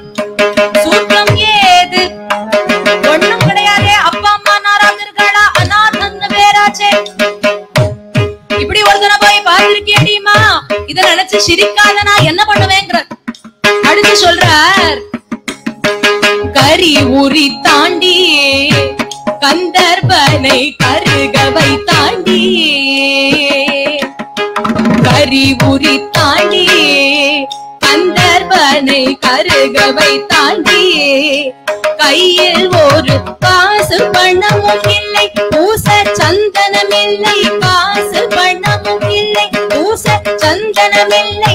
ஆசை ஒருவர் இல்லை. வீசி நடக்க மாட்டான் ஒரு கால் ஊனோ. தலையில் ஒரு தெரியாமானோ ஒரு கால் ஊனோ. தலையில் ஒரு தெரியாமானோ அறையில் இப்போ உடுக்க துணியும் இல்லை படுக்க பாயும் இல்லை. உடுக்க துணியும் இல்லை படுக்க பாயும் இல்லை. உடுக்கை அடித்து வயிறு வளர்கின்றான். பாரடி ஏதடி பெண்ணே. உடுக்க துணியும் இல்லை படுக்க பாயும் இல்லை. உடுக்கை வயிறு வளர்க்கின்றான் பாரடி ஏதடி பெண்ணே இவனிடத்தில் காதலோ பெண்ணே. காளை மாட்டாண்டி காளை மாட்டாண்டி குடும்பத்தை ஆள மாட்டாண்டி காளை மாட்டாண்டி குடும்பத்தை ஆழமா தாண்டி எப்போதுமே காட்டில் குடியிருப்ப வீட்டு கவலை இல்லை காட்டில் குடியிருப்ப வீட்டு கவலை இல்லை பாட்டை படித்து வரை ஓட்டை பிடித்து பிள்ளை பழி சுமந்தாண்டி. பிள்ளை பழி சுமந்தாண்டி அவன் இடத்தில் பாயும் புலி இருக்க தோயும் கரையேதுக்க பாயும் புலி இருக்க தோயும் கரையிருக்கு தேயும் பிறை இருக்க தாயும் தந்தையும் இல்லை ஏதடி பெண்ணே. ஓட்டை பிடித்த பிழையே படி சுமந்தாண்டியே. அவனிடத்தில் தாயும் புலியேற்க தோயும் கரையேற்க தேயும் பிறையிருக்கு தாயும் தந்தையும் இல்லை ஏதடி பெண்ணே. இவனிடத்தில் காதலோ கண்ணே. மேதினி புகழ் மலைநாதன் குமரியாகி விளங்கு மணியே ஏதடி பெண்ணே. ஏதடி பெண்ணே. பெண்ணே.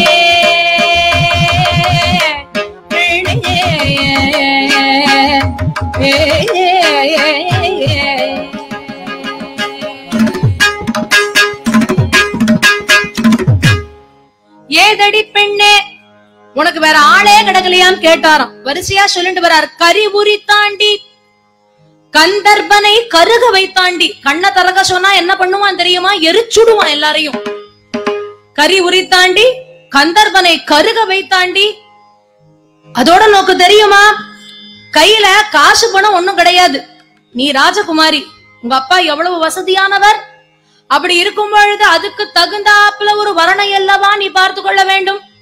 கையில் காசு பணமும் இல்லை பூச சந்தனமும் இல்லை. ஆசை ஒருவர் இல்லை. யாராவது இருக்கா? அவளோட நான் பிரியமா இருப்பேன்னு சொல்லிக்கிறதுக்கு யாராவது இருக்காளோ? ஒருத்தரும் கிடையாது. அதோட நோக்கொன்னு தெரியுமா? வீசி நடக்க மாட்டான். ஏன்னா ஒரு கால் ஊனம் நட்ராஜாவாக ஒரு காலை தூக்கிட்டு தானே நின்று இருக்கார் அந்த கோலத்தை சொல்றார். கோபாலகிருஷ்ண பாரதியினுடைய கீர்த்தனை. நிந்தாஸ்துதின்னு சில கீர்த்தனங்கள் உண்டு. ஹாஸ்ய பரியந்தம் வர கீர்த்தனங்கள்ல நிந்தாஸ்துதி பரியந்தம் நிறைய கீர்த்தனங்கள். அப்படி வரக்கூடிய கீர்த்தனங்கள்ல இது ஒண்ணு. கால வீசி நடக்க மாட்டான் ஒரு கால் ஊனம் தலையில் ஒரு தெரியா மானம். அதை விட என்ன தெரியுமோ? ஒருத்தருக்கு பேசிக் நெசசிட்டி என்ன? துணி. உடுக்க நல்ல துணி இருக்கணுமா இருக்க கூடாதா அவர்கிட்ட கிடையாது. உடுக்க துணியும் இல்லை படுக்க பாயும் இல்லை. நீ எப்படி மெத்தையில நன்னா சௌக்கியமா படுத்துட்டு இருக்கிறவ இல்லையா? அங்க போனேன்னா உடுக்க துணியும் கிடையாது படுக்க பாயும் கிடையாது. அதோட தெரிஞ்சுக்கோ உடுக்கை அடித்து வயிறு வளர்க்கின்றான் பாரடி. கையில உடுக்க இருக்கு தெரியுமா? அதை வச்சுதான் அன்றாட பிழைப்பே நடத்தின்னு இருக்கான். இப்படிப்பட்டவன போய் நீ பாத்துட்டி அடியுமா அப்படிங்கிற அடுத்து சொல்றார் காளை மாட்டாண்டி. உங்க அப்பா உனக்கு எப்பேற்பட்ட ரதங்கள் எல்லாம் வச்சிருக்கார். நீ எங்கேயாவது வெளியில போகணும்னா ஜம்மன் அப்படி அது கிளம்புறது ஜிலு ஜிலுன்னு நீ போயிட்டு இருக்க. அங்க போனா என்ன வாகனம் தெரியுமா? காளை மாடு. நினைச்சு பாரு அவரோட உட்காந்து டபுள்ஸ் போறத காளை மாட்டுல. அவ்வளவுதான். காளை மாட்டாண்டி. சரி பரவாயில்ல அது ஃபேஷன் அப்படின்னு நீ சொல்லிட்டு போனேன்னா குடும்பத்தை ஆள மாட்டாண்டி. குடும்பத்தையே நடத்த தெரியாதுமா அவனுக்கு? குடும்பத்தை ஆள மாட்டாண்டி. அடுத்து சொல்றார் ஓட்டை பிடித்து.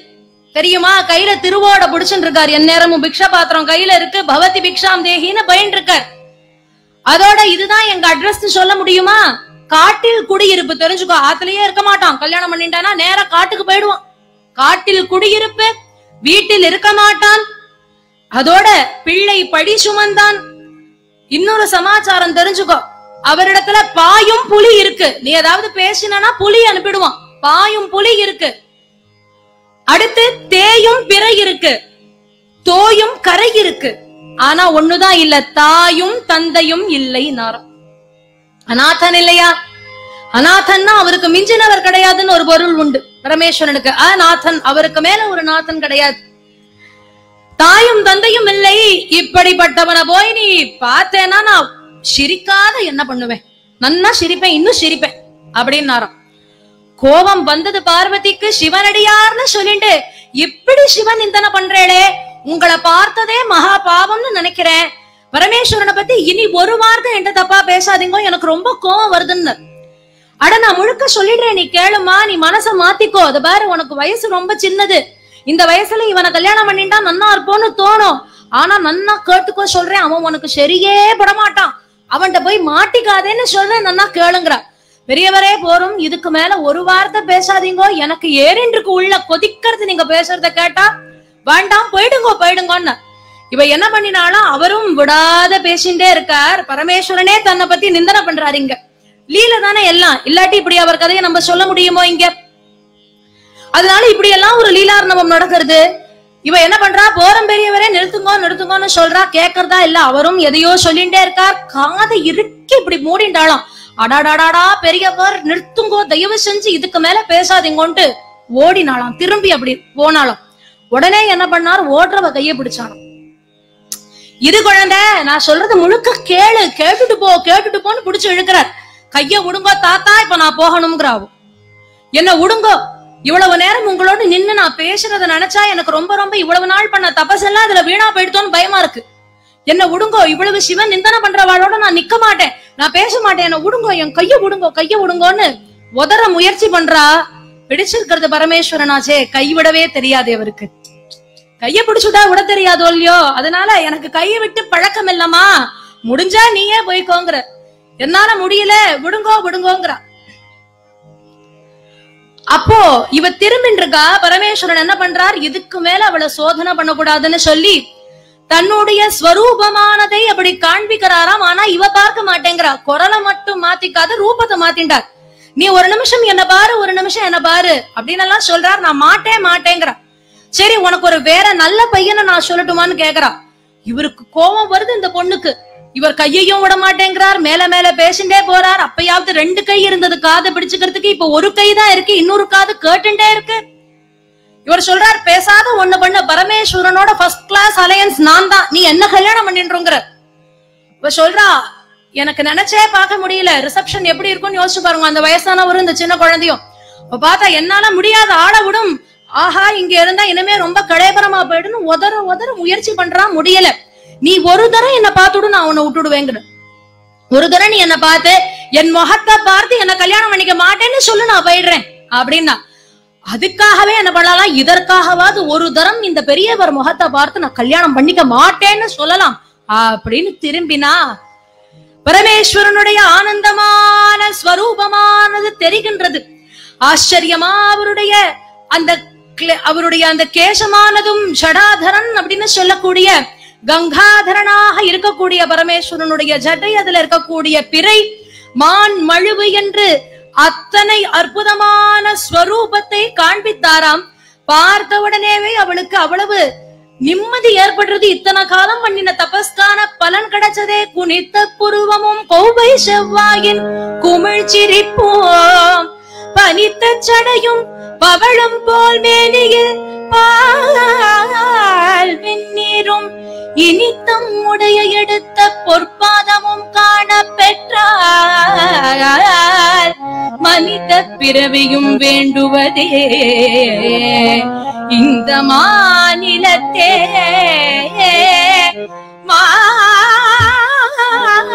மாநிலத்தே. மாநிலத்தே. ஹர நம பார்வதி பதையே. ஹர ஹர மகாதேவ. அப்படின்னு பரமேஸ்வரனை நமஸ்கரித்தாளாம். இப்ப சொல்லி என்ன கல்யாணம் பண்ணிக்க மாட்டேன்னு? உங்களை கல்யாணம் பண்ணிக்கிறதுக்காகத்தானே இத்தனை காலம் காத்துட்டு இருந்தேன் சுவாமி? அப்படின்னு சொல்ல நீ போ நான் கல்யாணத்துக்கு பேசுறதுக்கு எல்லாரையும் அனுப்புறேன்னு சொல்றாராம். சப்த ரிஷிகளை அனுப்புறார். அருந்ததியானவளும் வரா. வந்து ஹிமாவான்ட்ட கல்யாணமானத பேசி முடிக்கிறா. மேனைக்கு உள்ளூர் ஒரு பயம் இருந்தது. ஏன்னா இதுக்கு முன்னாடி தாக்ஷாயணியா வந்தவதான். தக்ஷனுக்கான கதி என்னன்னு தெரியும் அவளுக்கு. அதனால எங்க நம்பாத்துக்காரருக்கு இந்த மாதிரி ஏதாவது ஒரு நிலை வந்துடுத்துனா என்ன பண்றதுன்னு சற்று பயந்தாள். அப்போ அருந்ததி சொல்றாளாம் கவலை வேண்டாம் தக்ஷன் மாதிரி நடந்துண்டா இவர் அப்படி நடந்துப்பார். ஆனா ஹிமவான் அப்பேற்பட்டவர் கிடையாது. அதனால நீங்க பயப்பட வேண்டாம். சௌக்கியமா கல்யாணத்தை பண்ணி வைங்கன்னு சொல்ல திருமணத்துக்கான ஏற்பாடுகள் எல்லாம் கோலாகலமா நடக்கிறது. பங்குனி உத்திரத்தன்னைக்கு திருமணம் அப்படின்னு நியமனம் பண்ணினான் அன்றைய தினம் முப்பத்து முக்கோடி தேவர்களும் அங்கு வந்தாச்சு. பெருந்தவ முனிவர்களும் அங்கு வந்தாச்சு. எல்லாரும் அங்க இருந்துட்டு இருக்க திருமணமானது நடக்க போறது பெரும்பாலான இன்னைக்கு நம்ம பார்க்கக்கூடிய அந்த கல்யாண வைபவங்கள்ல இருக்கிற சம்பிரதாயங்கள் எல்லாமே பார்வதி பரிணயத்துல இருந்து நமக்கு கிடைச்சதுதான். ஊஞ்சலாகட்டும் பச்சைப்பிடி சுத்துறதாகட்டும் இதெல்லாமே பார்வதி பரிணயத்துல இருந்து நமக்கு கிடைக்கக்கூடியது. அப்படி திருமணத்துக்கான ஏற்பாடுகள் நடந்தாச்சு? அத்தனை பேரும் வந்தாச்சு? அஸ்தானம் யாருன்னு பார்த்தா பிரம்மதேவர். பரமேஸ்வரன் வந்தாச்சு. மாப்பிள்ளை அழைப்பெல்லாம் அத்தனை அசாத்தியமா முடியறது. பிரம்மா விஷ்ணுன்னு அத்தனை பேரும் அங்க கோலாகலமாக சந்துஷ்டியோட இருந்துட்டு இருக்கா பகவத் கல்யாணமானது நடக்க போறது. எல்லார் மனசுலயும் இனம் புரியாத ஒரு சந்தோஷம். ஏன்னா சோபனமான வைபவம் இல்லையா? அதனால அத்தனை பேர் மனசுலயும் சந்தோஷம் வாத்தியங்கள் எல்லாம் முழங்கின் இருக்கு அப்போ பொண்ணை அழிச்சுட்டு வாங்கோன்னு குரல் கொடுத்துட்டார். பொண்ணை அழிச்சுட்டு வரா. பார்வதியானவள் அழிச்சுட்டு வந்து அப்படி ஊஞ்சல்ல உட்காத்தி வைக்கிறாளாம். கௌரி கல்யாண வைபோகமே. அப்படின்னு சொல்லி கௌரியானவளுடைய கல்யாணமானது. அந்த வைபோகங்கள் எல்லாம் தொடங்குறது ஊஞ்சலுக்கு வந்துட்டா. கன்னியாக இருந்து முதல் முதல்ல ஒரு பெண் அவளுக்கு உரியவரோட சேர்ந்து ஆடுவதனால கன்னி ஊஞ்சல்னு பேர் அதுக்கு. அதுதான் மருவி கண் ஊஞ்சல் அப்படின்னு இன்னைக்கு சொல்றோம். அப்போ பரமேஸ்வரன் உட்கார்ந்து இருக்கார். கழுத்துல சர்ப்பங்கள் எல்லாம் இருக்கு. பரதேவதை உட்கார்ந்து இருக்கா இந்த பரமேஸ்வரன் கழுத்துல ஒரு சர்ப்பம் இருக்கும் இல்லையோ இந்த சர்ப்பத்துக்கு ஒரு ஆசை ஏற்படுறது. ஏன்னா அது இப்படி பாக்குறது அம்பாளுடைய முழு முகம் தெரியல. அந்த ப்ரொஃபைல் அப்படின்னு சொல்லக்கூடிய ஒரு பாகம் மட்டுமே தெரியறது. இந்த சர்ப்பத்துக்கு ஒரு ஆசை ஏற்படுறது அம்பாளுடைய திருமுகத்தை பார்க்கணுமேன்னு முயற்சி பண்றது. அப்ப என்ன பண்றது? எப்படி வந்தா அவ முகத்தை முழுக்க பார்க்க முடியும் அப்படின்னா இப்படி நேரா அவளுக்கு முன்னாடி வந்தா தான் அந்த முகத்தை பார்க்க முடியும். அது என்ன பண்ணித்தான்? கழுத்துல இருந்து கிர்ன்னு நீண்டு நேரா அம்பாள்கிட்ட வந்து அப்படி காமிச்சதான் அந்த முகத்தை. அப்படி பாக்குறது அம்பாள் என்ன பண்றானா திடீர்னு ஒரு சர்ப்பம் வந்ததுன்னா ஒரு பயம் ஏற்படமே அப்படி பயந்தாலும் அந்த பயத்துல அவளுக்கு வேர்த்து விட்டதாம். இப்ப பரமேஸ்வரன் என்ன பண்ணினால் தன்னுடைய பட்டு வஸ்திரத்தை கொடுத்தாராம். தொடச்சுக்கோன்னு சொல்லி கொடுத்தாராம். அப்படி அரும்பும் வியர்வை கஞ்சி ஈசன் தன்னுடைய அந்த வஸ்திரத்தை கொடுத்து இது எல்லாம் அந்த ஊஞ்சல் போது நடக்கிறது எல்லாரும் பார்த்துட்டு இருக்கா பாக்குறச்ச திருஷ்டி படப்படாதேன்னு சொல்லி பச்சை பிடி சுத்துறது அப்படின்னு சொல்லக்கூடியது பாலால காலலம்பி பட்டால் துடைத்து இன்னும் ஆங்கிலத்துல சொன்னா மில்கால காலலம்பி சில்கால துடைக்கிறது இல்லையா? பாலால் காலலம்பி பட்டால் துடைத்து முத்தான பெண்கள் எல்லாம்னு அத்தனை பேரும் எல்லா சம்பிரதாயங்களும் அங்க பண்ணிட்டு இருக்கா அவ்வளவுதான் முகூர்த்தத்துக்கு நாழி ஆயிடுத்து அப்படின்னு சொல்றார். பார்வதியானவள் மணப்பெண் கோலத்துல அவ்வளவு அழகா இருக்கா? அத்தனை பேரும் அங்க இருக்கிறச்சு என்ன ஆறுது இந்த முகூர்த்த நேரம் நெருங்குறச்ச அங்க ஒரு கலையபரம் ஏற்படுறது. என்ன ஆறுதுன்னு பார்த்தா மொத்த கூட்டமும் வடக்குல இருக்கோ இல்லையோ? அதனால என்ன ஆறுது பூமி சாஞ்சு போயிடுறது. பூமி இப்படி பேலன்ஸ் இல்லாம போறது. அப்ப என்ன பண்ணணும்? யாரையாவது ஒருத்தர் இந்த பக்கம் போய் அனுப்பினாதான் அது சரி சமமாகும். இல்லையோ? அப்ப சரிசமப்படுத்துறதுக்கு ஒருத்தர் அனுப்பணும். யார் அனுப்பலான்னு பரமேஸ்வரன் பார்த்துட்டு இருக்காரு நன்னா ஹைட் அண்ட் வெயிட் ஆஜானு பாகுவா யாரையாவது அனுப்புவார்னு பார்த்தா இருக்கிறதுலயே குள்ளமா இருக்கிற ஒருத்தரை பார்த்தார். குருமுனின்னு சொல்லக்கூடிய அகத்தியரை பார்த்தார். அகத்தியரை பார்த்துட்டு நீர் போய் சத்து நில்லும் நாராம். எல்லாருக்கும் யோசிக்கிறா என்னடா அது இத்துணுண்டா இருக்கிற இவரை அனுப்பி சமப்படுத்துங்கிறாரு என்ன அகத்தியர் அதாவது கடுகு சிறிதா இருந்தாலும் காரம் பெரிதுங்கிற மாதிரி குருமுனியாக இருந்தாலும் தபோ வலிமை என்பது எண்ணற்றது அகத்தியரோடு அப்ப அகத்தியருக்கு ஒரு கிளேசம் ஏற்படுறது ரெண்டு. ஒண்ணு இப்ப நான் கல்யாண கோலத்தை பார்க்க முடியாது இங்கேருந்து போயிட்டா அப்படின்னார். இப்ப சொல்றார் கவலை வேண்டாம். நான் நீங்க இருக்கிற இடத்துலயே இந்த கல்யாண கோலத்தை காண்பிக்கிறேங்கிறார். ஆஹா அது ஸ்கிரீன் தானே. எனக்கு பிரத்யட்சமா பாக்கணும்னு இருக்கும் மோல்யோன்னர். கவலை வேண்டாம். நான் வந்துடுறேன். நீங்க எந்த பிரதேசத்துக்கு தெற்கு பிரதேசத்துக்கு போறேன் இல்லையா? அங்க வந்து உங்களுக்காகவே ஒரு திருமணம் பண்ணிக்கிறேன் அதுதான் மீனாட்சி கல்யாணம். அவருக்காக வந்து பண்ணிக்கிறது. இன்னொரு கிளேஷம் என்னன்னா அங்க போனா எனக்கு பாஷை எல்லாம் தெரியாதேன்னாராம் இப்ப பரமேஸ்வரன் என்ன பண்ணினார்? இவருக்கு தமிழ் இத்தியாதி பாஷைகளை சொல்லி கொடுக்கிறாராம் அகத்தியருக்கு. அப்போ அங்கேருந்து வந்து இங்க வந்து தமிழானத அத்தனை பேருக்கு சொல்லி கொடுத்த பெருமை அகத்தியருக்கு உண்டு. தமிழ் அப்படின்னு இன்னைக்கு எல்லா இடத்துலயும் சொல்றாளே. அகத்தியரானவரும் பரமேஸ்வரனும் அவர்கள் மனது வைத்து அவர்கள் அனுகிரகத்தினால கிடைச்ச மகோன்னதமான பாஷை தமிழ்னு சொல்லக்கூடியது. அப்போ அகத்தியர் இங்க வந்தாச்சு. தெற்கு பிரதேசத்துக்கு அகத்தியர் வந்தாரோ இல்லையோ பூமி சமமாச்சு. திரும்ப கல்யாண கலகலப்புன்னு சொல்லக்கூடியது எல்லாம் அப்படி. அதிகமானது வாத்தியங்கள் எல்லாம் முழங்க மத்தளம் பேரிகை மல்லரி அடித்தார்.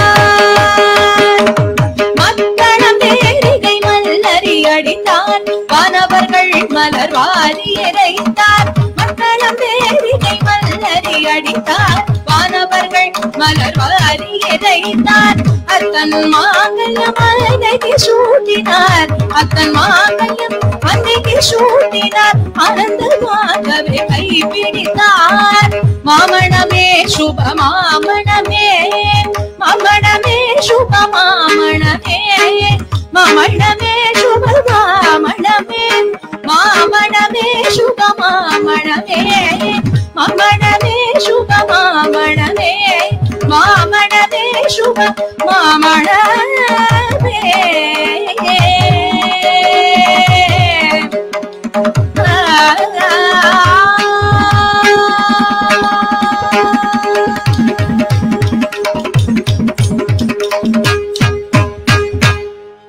மத்தளம் பெருகை மல்லறி அடிக்க வானவர்கள் மலர் வாரி இறைக்க பரமேஸ்வரனானவர் பார்வதியின் கழுத்துல திருமாங்கல்யத்தை அற்புதமாக அப்படி சாற்றினார். கோலாகலமாக அந்த வைபவமானது நிகழும் பொழுது நம பார்வதி பதையே நம பார்வதி பதையே. அதுக்கு முன்னாடி பார்வதி பதையேங்கிறது எங்க? கல்யாணம் ஆனதுக்கு அப்புறம் நம பார்வதி பதையே. ஹரஹ மகாதேவ் மகாதேவ் மகாதேவ். சம்போ மகாதேவ சாம்ப பரமேஸ்வரர் என்ற அத்தனை பேரும் இந்த கண்கொள்ளா காட்சியை பார்ப்பதற்கு எத்தனை காலம் நம்மெல்லாம் தபஸ் பண்ணினோமான்னு தெரியலையேன்னு அத்தனை பேரும் நினைக்க இந்த திருமண வைபவமானது முடியறது. பரமேஸ்வரன் அத்தனை பேருக்கும் அனுகிரகம் பண்றார். அப்பேற்பட்ட பரமேஸ்வரனுடைய ஒரு திருக்கல்யாண வைபவமானத ஸ்மரிக்கிறது. அவருடைய பேரருளை நம்ம எல்லாருக்கும் கொண்டு வந்து சேர்க்கும்ங்கிறதுல எந்த சந்தேகமும் கிடையாது. அதிலும் ஸ்மரிக்க கூடிய இடம் அப்படின்னு ஒண்ணு உண்டு. குருவினுடைய சன்னிதானத்துல பரமேஸ்வரனை ஸ்மரிக்கும் பொழுது அதற்கான பலன்கள் இன்னும் பன்மடங்கு பெருகுகின்றது. ஏன்னு பார்த்தாக்க குருங்கிறவர் தான் தெய்வம்ங்கிறது யாருங்கிறதையே நமக்கு காண்பிக்கிறார். அப்படிப்பட்ட ஆச்சாரிய புருஷர்கள் இருக்கக்கூடிய இப்படிப்பட்ட க்ஷேத்திரத்துல புண்ணிய பூமியில இன்றைய தினம் பார்வதி பரிணயத்தை ஸ்மரணம் பண்ணக்கூடிய ஒரு பாக்கியத்தை கொடுத்ததுக்கு அத்தனை பேருக்கும் என்னுடைய அனந்த கோட்டி நமஸ்காரங்களை தெரிவிச்சுட்டு இன்றைய தினம் இந்த சரித்திரத்தை இந்த அளவுக்காவது பண்ண வச்ச என்னுடைய குரு என்னுடைய பாட்டி தஞ்சாவூர் ஸ்ரீமதி டி ஆர் கமலாமூர்த்தி அவளுக்கு என்னுடைய அனந்த கோட்டி நமஸ்காரங்களை தெரிவிச்சுட்டு பக்கவாத்தியத்துல இருந்த ஹார்மோனியம்ல ஸ்ரீ கிருஷ்ணா மோகன் அவளுக்கும் மிருதங்கத்துல ஸ்ரீ ஏவி மணிகண்டன் அவர்களுக்கும் என்னுடைய நமஸ்காரங்களை தெரிவிச்சுட்டு இங்க இருந்து கேட்டு இருக்கிற பெரியவாளுக்கெல்லாம் என்னுடைய நமஸ்காரத்தை தெரிவிச்சுட்டு பெரியவா பேர்ல சமீபத்துல நான் பாடின ஒரு பாட்டோட இன்றைய தினம் பூர்த்தி பண்ணிக்கிறேன்.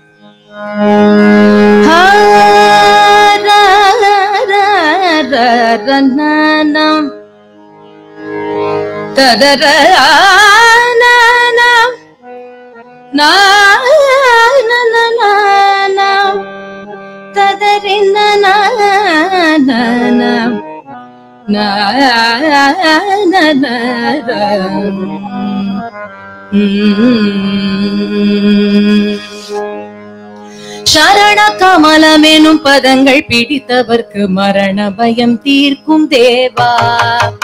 சரண கமலம் எனும் பதங்கள் பிடித்தவர்க்கு மரண பயம் தீர்க்கும் தேவா. அருள் கிரண ஒளி வீசும் தேவா. தவ சரணம் மம குரு தேவா. தவ சரணம் மம குரு தேவா. தவ சரணம் மம குரு தேவா தவ சரணம் மம குரு தேவா கடலின் நடுவில் படகில் சேர்க்க வல்ல படகென விளங்கிடும் தேவா. கடலின் நடுவில் படகில் சேர்க்க வல்ல படகென விளங்கிடும் தேவா. உந்தன் பதமலரடை கலம் தேவா. தவ சரணம் மம குரு தேவா தவ சரணம் மம குரு தேவா தவ சரணம் மம குரு தேவா தவ சரணம் மம குரு தேவா ஆதி சங்கரரின் அருளை எமக்களித்து போதனை செய்திடும் தேவா. சங்கரரின் அருளை எமக்களித்து போதனை செய்திடும் தேவா. ஆதிசங்கரின் அருளை எமக்களித்து போதனை செய்திடும் தேவா. காஞ்சி காம கோட்டி குரு தேவா தவ சரணம் மம குரு தேவா. தவ சரணம் மம குரு தேவா. தவ சரணம் மம குரு தேவா. தவ சரணம் மம குரு தேவா. கரிய விடி மலர்ந்து காஞ்சி நகர் அமர்ந்து கருவும் வரம் கொடுக்கும் மந்தை கரிய விழி மலர்ந்து காஞ்சி நகர் அமர்ந்து கருவும் வரம் கொடுக்கும் மந்தை சிவ காஞ்சி காமாட்சி அன்னை தவ சரணம் மம குரு தேவா தவ சரணம் மம குரு தேவா தவ சரணம் மம குரு தேவா தவ சரணம் மம குருவின் பரம்பரையில் வருகை பொழிந்தமர்ந்து கருவென விளங்கிடும் தேவா. குருவின் பரம்பரையில் வருகை பொழிந்தமர்ந்து கருவென விளங்கிடும் தேவா. கற்பக தருவென வரம் தரும் தேவா. தவ சரணம் மம குரு தேவா தவ சரணம் மம குரு தேவா தவ சரணம் மம குரு தேவா தவ சரணம் மம குரு தேவா ஆதி சங்கரின் பாதபடி நடந்து அனுகிரகம் செய்திடும் தேவா ஆதி சங்கரின் வழி நடந்து அனுகிரகம் செய்திடும் தேவா. எனக்கு ஆசிகள் வழங்கிடும் தேவா. தவ சரணம் மம குரு தேவா. தவ சரணம் மம குரு தேவா. கையில் தண்டமுடன் கமண்டலம் தாங்கி பைய நடந்து வரும் தேவா. கையில் தண்டமுடன் கமண்டலம் தாங்கி பைய நடந்து வரும் தேவா மகா பெரியவா குரு தேவா. தவ சரணம் மம குரு தேவா. தவ சரணம் மம குரு தேவா. தர்மம் நிலை நாட்டி தவத்தால் வழிகாட்டி தந்த சத்குரு தேவா. ஸ்ரீ ஜெயேந்திர சத்குரு தேவா. தவ சரணம் மம குரு தேவா தவ சரணம் மம குரு தேவா தேசம் முழுதும் சென்று யோகம் பரிமளிக்க ஈசனாய் அருளிய தேவா। ஜெகதீசனாய் விளங்கிய தேவா। தவ சரணம் மம குரு தேவா சர சரணம் மம குரு தேவா குருவின் பரம்பரையில் குன்றிலிட்டதொரு தீபம் போல் விளங்கிடும் தேவா. குருவின் பரம்பரையில் குன்றிலிட்டதொரு தீபம் போல் விளங்கிடும் தேவா.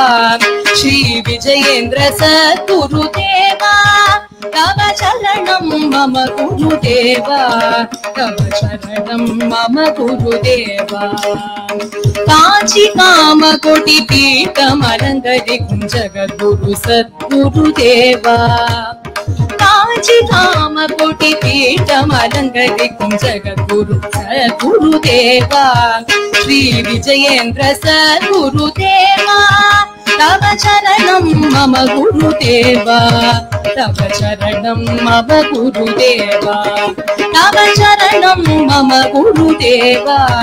தவ சரணம் மம குரு தேவா தவ சரணம் மம குரு தேவா தவ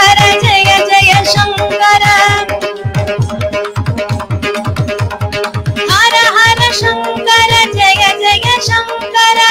மம குரு தேவா ஹர ஹர சங்கர ஜய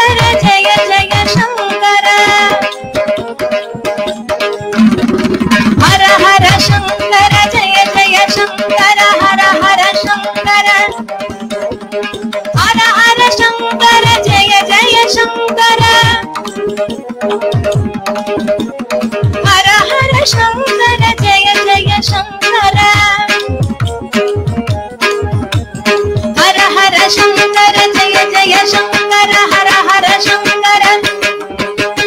हर हर शंकर, जय जय शंकर, हर हर शंकर, जय जय शंकर। हर हर शंकर, जय जय शङ्कर हर हर शंकर, जय जय शङ्कर हर हर शंकर, जय जय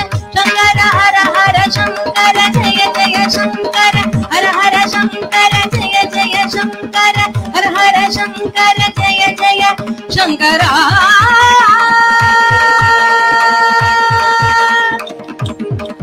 यस्य स्मरणमात्रेण चित्तशुद्धि प्रजायते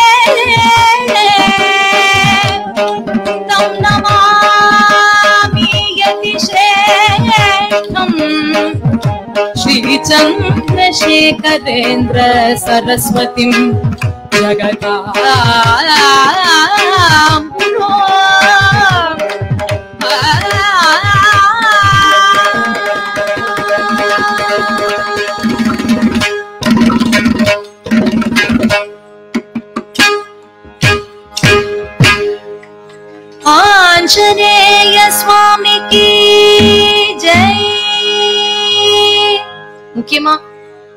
இன்றைய தினம் எங்களோட எஃபர்ட்ஸ் எல்லாம் உங்களை வந்து ரீச் ஆகுதுன்னா அதுக்கு ரொம்ப முக்கியமான காரணம் ஆடியோல இருக்கிறவா. அவளுக்கு டெஃபினெட்லி ஒரு ரெக்கக்னிஷன் கொடுக்கணும். ஏன்னா அவ்வளவு ஈஸி கிடையாது. ஒருத்தர் நாங்க பின்னாடி போறச்ச வாய்ஸ் ஒரு மாதிரி ஆகும் முன்னாடி வரச்ச ஒரு ஒரு மாதிரி ஆகும். அவ டோட்டலி அந்த பேலன்ஸ்ல இருக்கணும். அவளுக்கும் என்னுடைய அனந்த கோடி நமஸ்காரங்களை தெரிவிச்சுட்டு சத்குரு சுவாமினஹ ஜெய்.